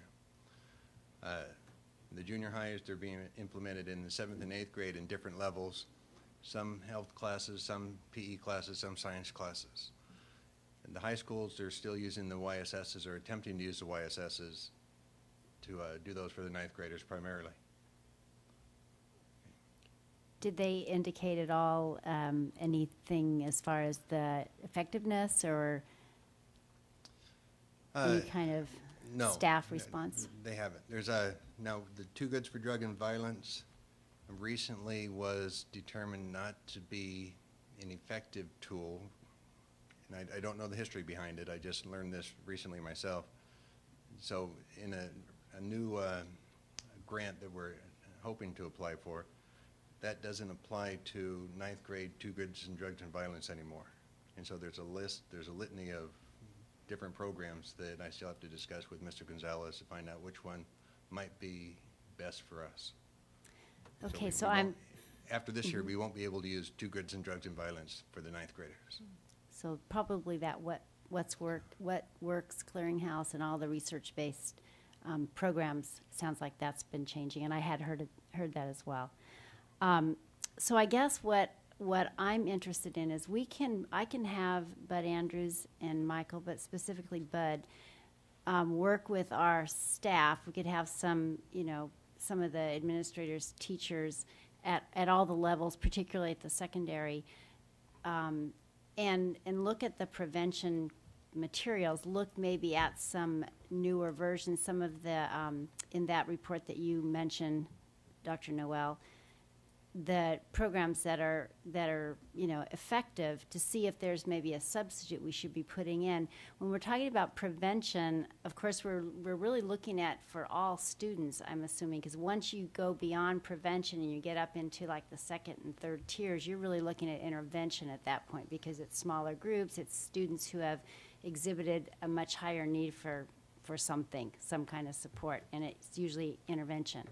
So for prevention, we don't want to um, add yet another kind of anti-gang curriculum or whatever on top of everything else we're trying to fit in. I think what we n- probably need to look at, and it's, it's probably perfect timing if this program that we're using is no longer considered the best one out there or appropriate for receiving funding. I'm assuming our Title IV funding. Correct. What's the Um, name of that program again? The Too Good for Drugs and Violence. In the elementary, it doesn't have the violence on the end of it. It's, uh, K-6 is Too Good for Drugs, and then it, it moves on. And then life skills is also in our junior highs.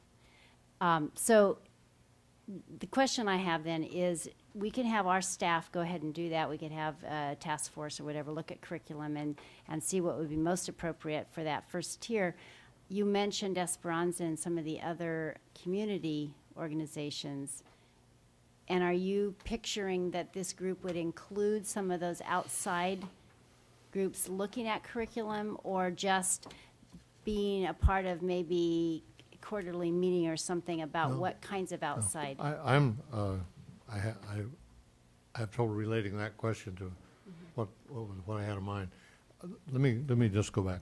Uh, back then, whenever that was, it's been a long time, uh, I did a lot of digging around, and I found two websites that uh, both represented the, uh, uh, the public health model, okay, as distinct from an intervention model, and both had extensive reviews of programs rated on effectiveness, research-based ratings on effectiveness.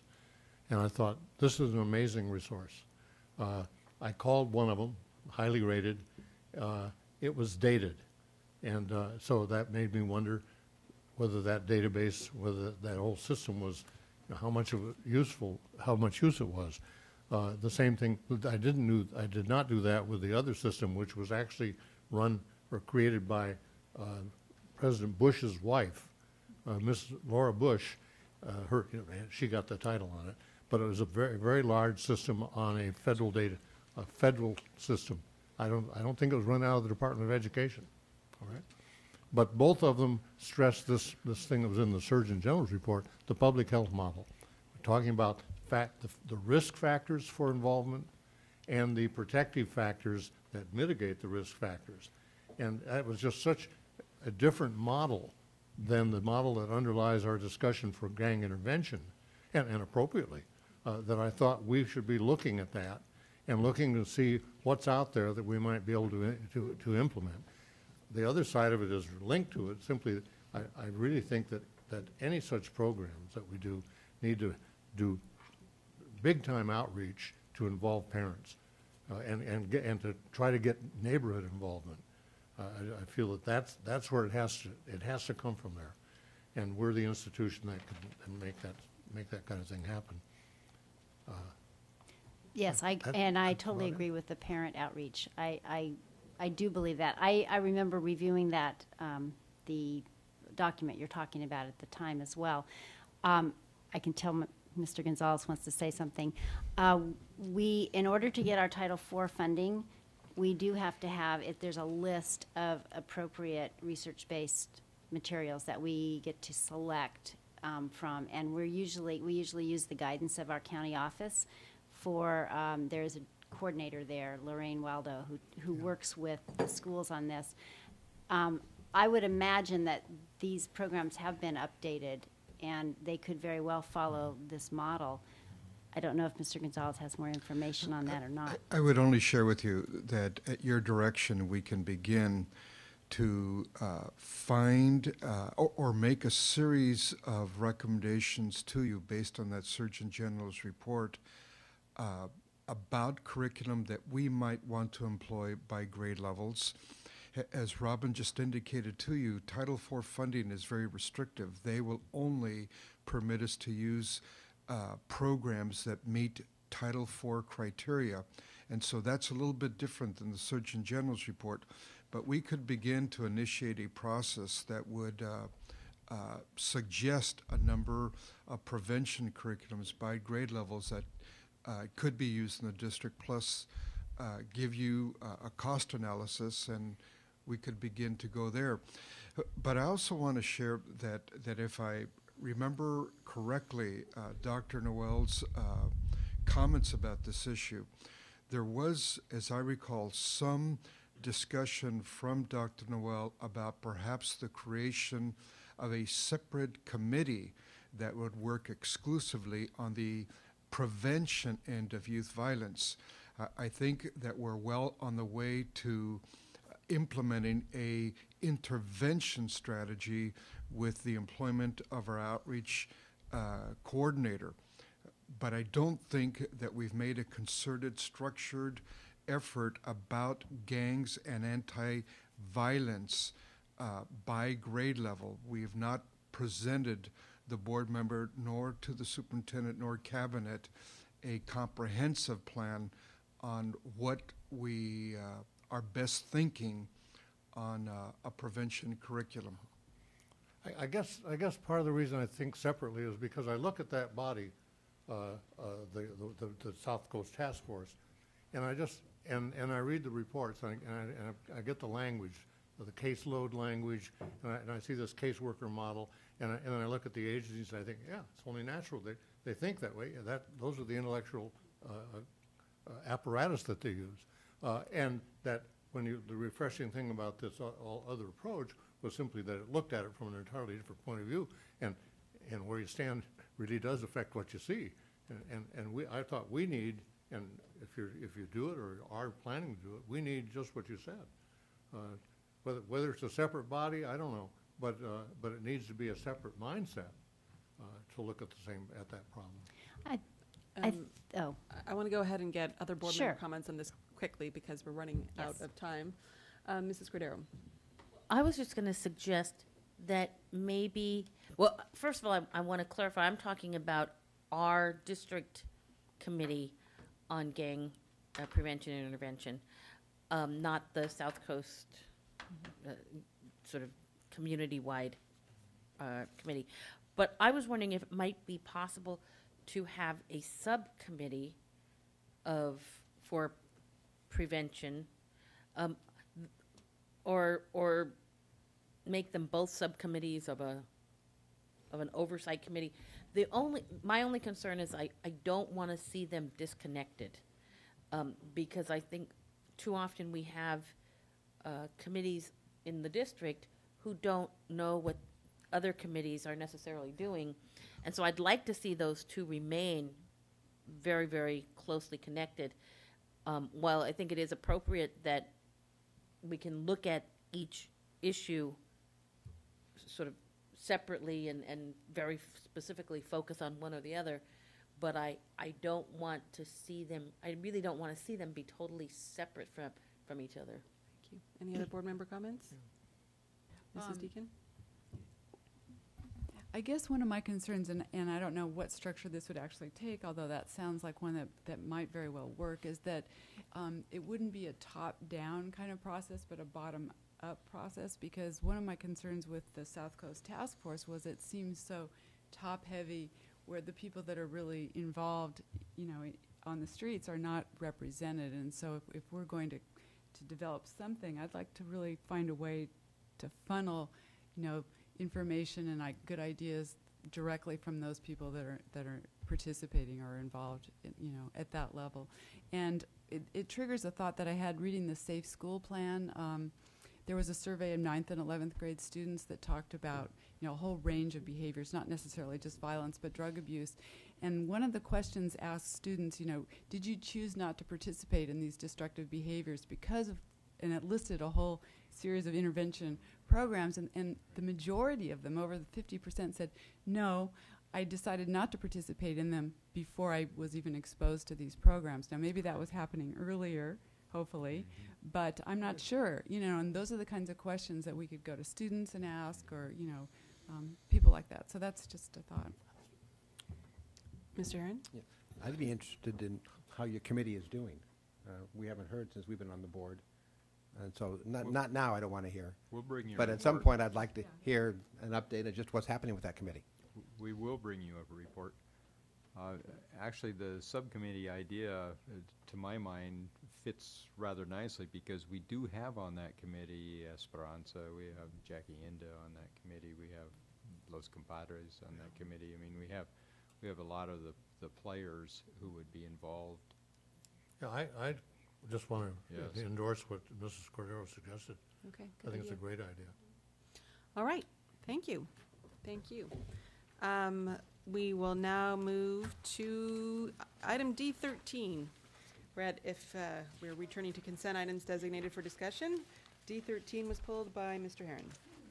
On page two of the report, uh, one sentence interested me, and something that you said, Mrs. Parker, also interested me regarding that. Uh, Peabody makes the comment, um, they're gonna be receiving uh, eighty thousand dollars from the parcel tax. And then it says, this will help fund our math, art, and music programs. It, it doesn't sound like they're talking about supplement them, it sounds like, do they, do they know, uh, Mr. Smith? Do they know that they, I mean, I- I thought they were under the props, uh, parcel tax I, under the same constraints that that, we, we told the public. Absolutely, it's it's supplement, not supplant, and we'll convey that to them just in case there's any com- And- miscommunication. And doesn't the Citizens Committee oversight? Absolutely, They, they're not exempted from that. they're under their peer review. Yeah, and they're, and they'll be ultimately under our peer review for That's that. correct. However, they're just not participating in, in the same structure of programs that we're doing. yeah. But Proposition I, well, and they, and they have to, sup- I mean, they have to, they just can't take our money, No, take the they'll- citizens' money and just spend it how they want to spend it. They'll have to develop a plan, and that plan will be subject to the oversight of both the oversight committee and the board. Thank you. I'll move to approve D thirteen. Second. All those in favor? Aye. It passes unanimously. And with that, we move to item H, coming events, which Dr. Sarvis already gave a lengthy list of. Um, And then measure, uh, sorry, item I, board comments and correspondence. Uh, Mrs. Deacon? I just have a quick question. I really enjoy reading the uh, Santa Barbara High School student newspaper, and I'm wondering if we could get the newspapers from the other high schools on a regular basis. That would be great. Any other board comments or correspondence? I just uh, would like to mention two other things that I saw recently, and, you know, one I loved is that the Dons ride the perfect wave into state, into the state meet. We have a surfing championship at Santa Barbara High School. I thought that was unique. And then you have to, you have to love the Roosevelt School and their loop de coupe. That was I so mean, I can't believe the coverage they got. I hope they made some money. But uh, it was a fantastic uh, coverage on that. And uh, I went by a couple of the places from the street. I didn't pay to go in, but I went from the street, and they had a lot of activity. So I thought those two were very good. I'd also like to say, I'd like to thank Mimi. Um, I noticed this is the second time I've seen the attachments uh, along with the agenda on Friday. And I know that you can't do that all the time, but I think the public appreciates it, so thank you for doing that. Yeah. Yeah, so the, the fact that it was there, I mean, I think, the pu- uh, I think the public appreciates that. Okay, and now we're on to J, future agenda items. Anybody like to share? Mr. Heron? Uh, I'm curious, on the uh, board agenda, it says we have a workshop in April. Do we have a date for that? Uh, We don't have a Yes. workshop in April, we A have a special special- okay, meeting. special meeting. And it's April April 21st. 21st. Oh, I- I- It's shown under K. Under K. Oh, And okay. Mimi, do you recall the start time? Oh, it's 4 o'clock. Okay. Because that's the one that has the dinner, it's at La That's the Cumbre. dinner at La Cumbre, Yeah. right? Okay. Um, And then I- I'd also like to put on the, no, we're not on future agenda. Are we on future agenda? We are on future Okay. agenda right now. Um, I would like on, the- on hopefully the next agenda, this um, topic of intra-district transfers. Mhm. I mean, there's a ton of communication going around, and I'd like to um, discuss that. Okay. Um, I have some others that I'd like to bring up. One is uh, Dr. Noel's uh, sort of a report on vandalism. I think that would be a great uh, future agenda item. um, I to- have To talk about vandalism, so you have that down. Also, uh, board bylaw, I believe it's 9006, um, the governing board's code of ethics. I'd like a discussion on that. Uh, And Are we including that in the special board meeting on the 21st? No. No? No, it's in the 9,000 series. That's just on 5,000s and 6,000s, I believe. Um, and then also, uh, uh, the development of alternative programs to serve students transferring from program improvement schools. As a future agenda item.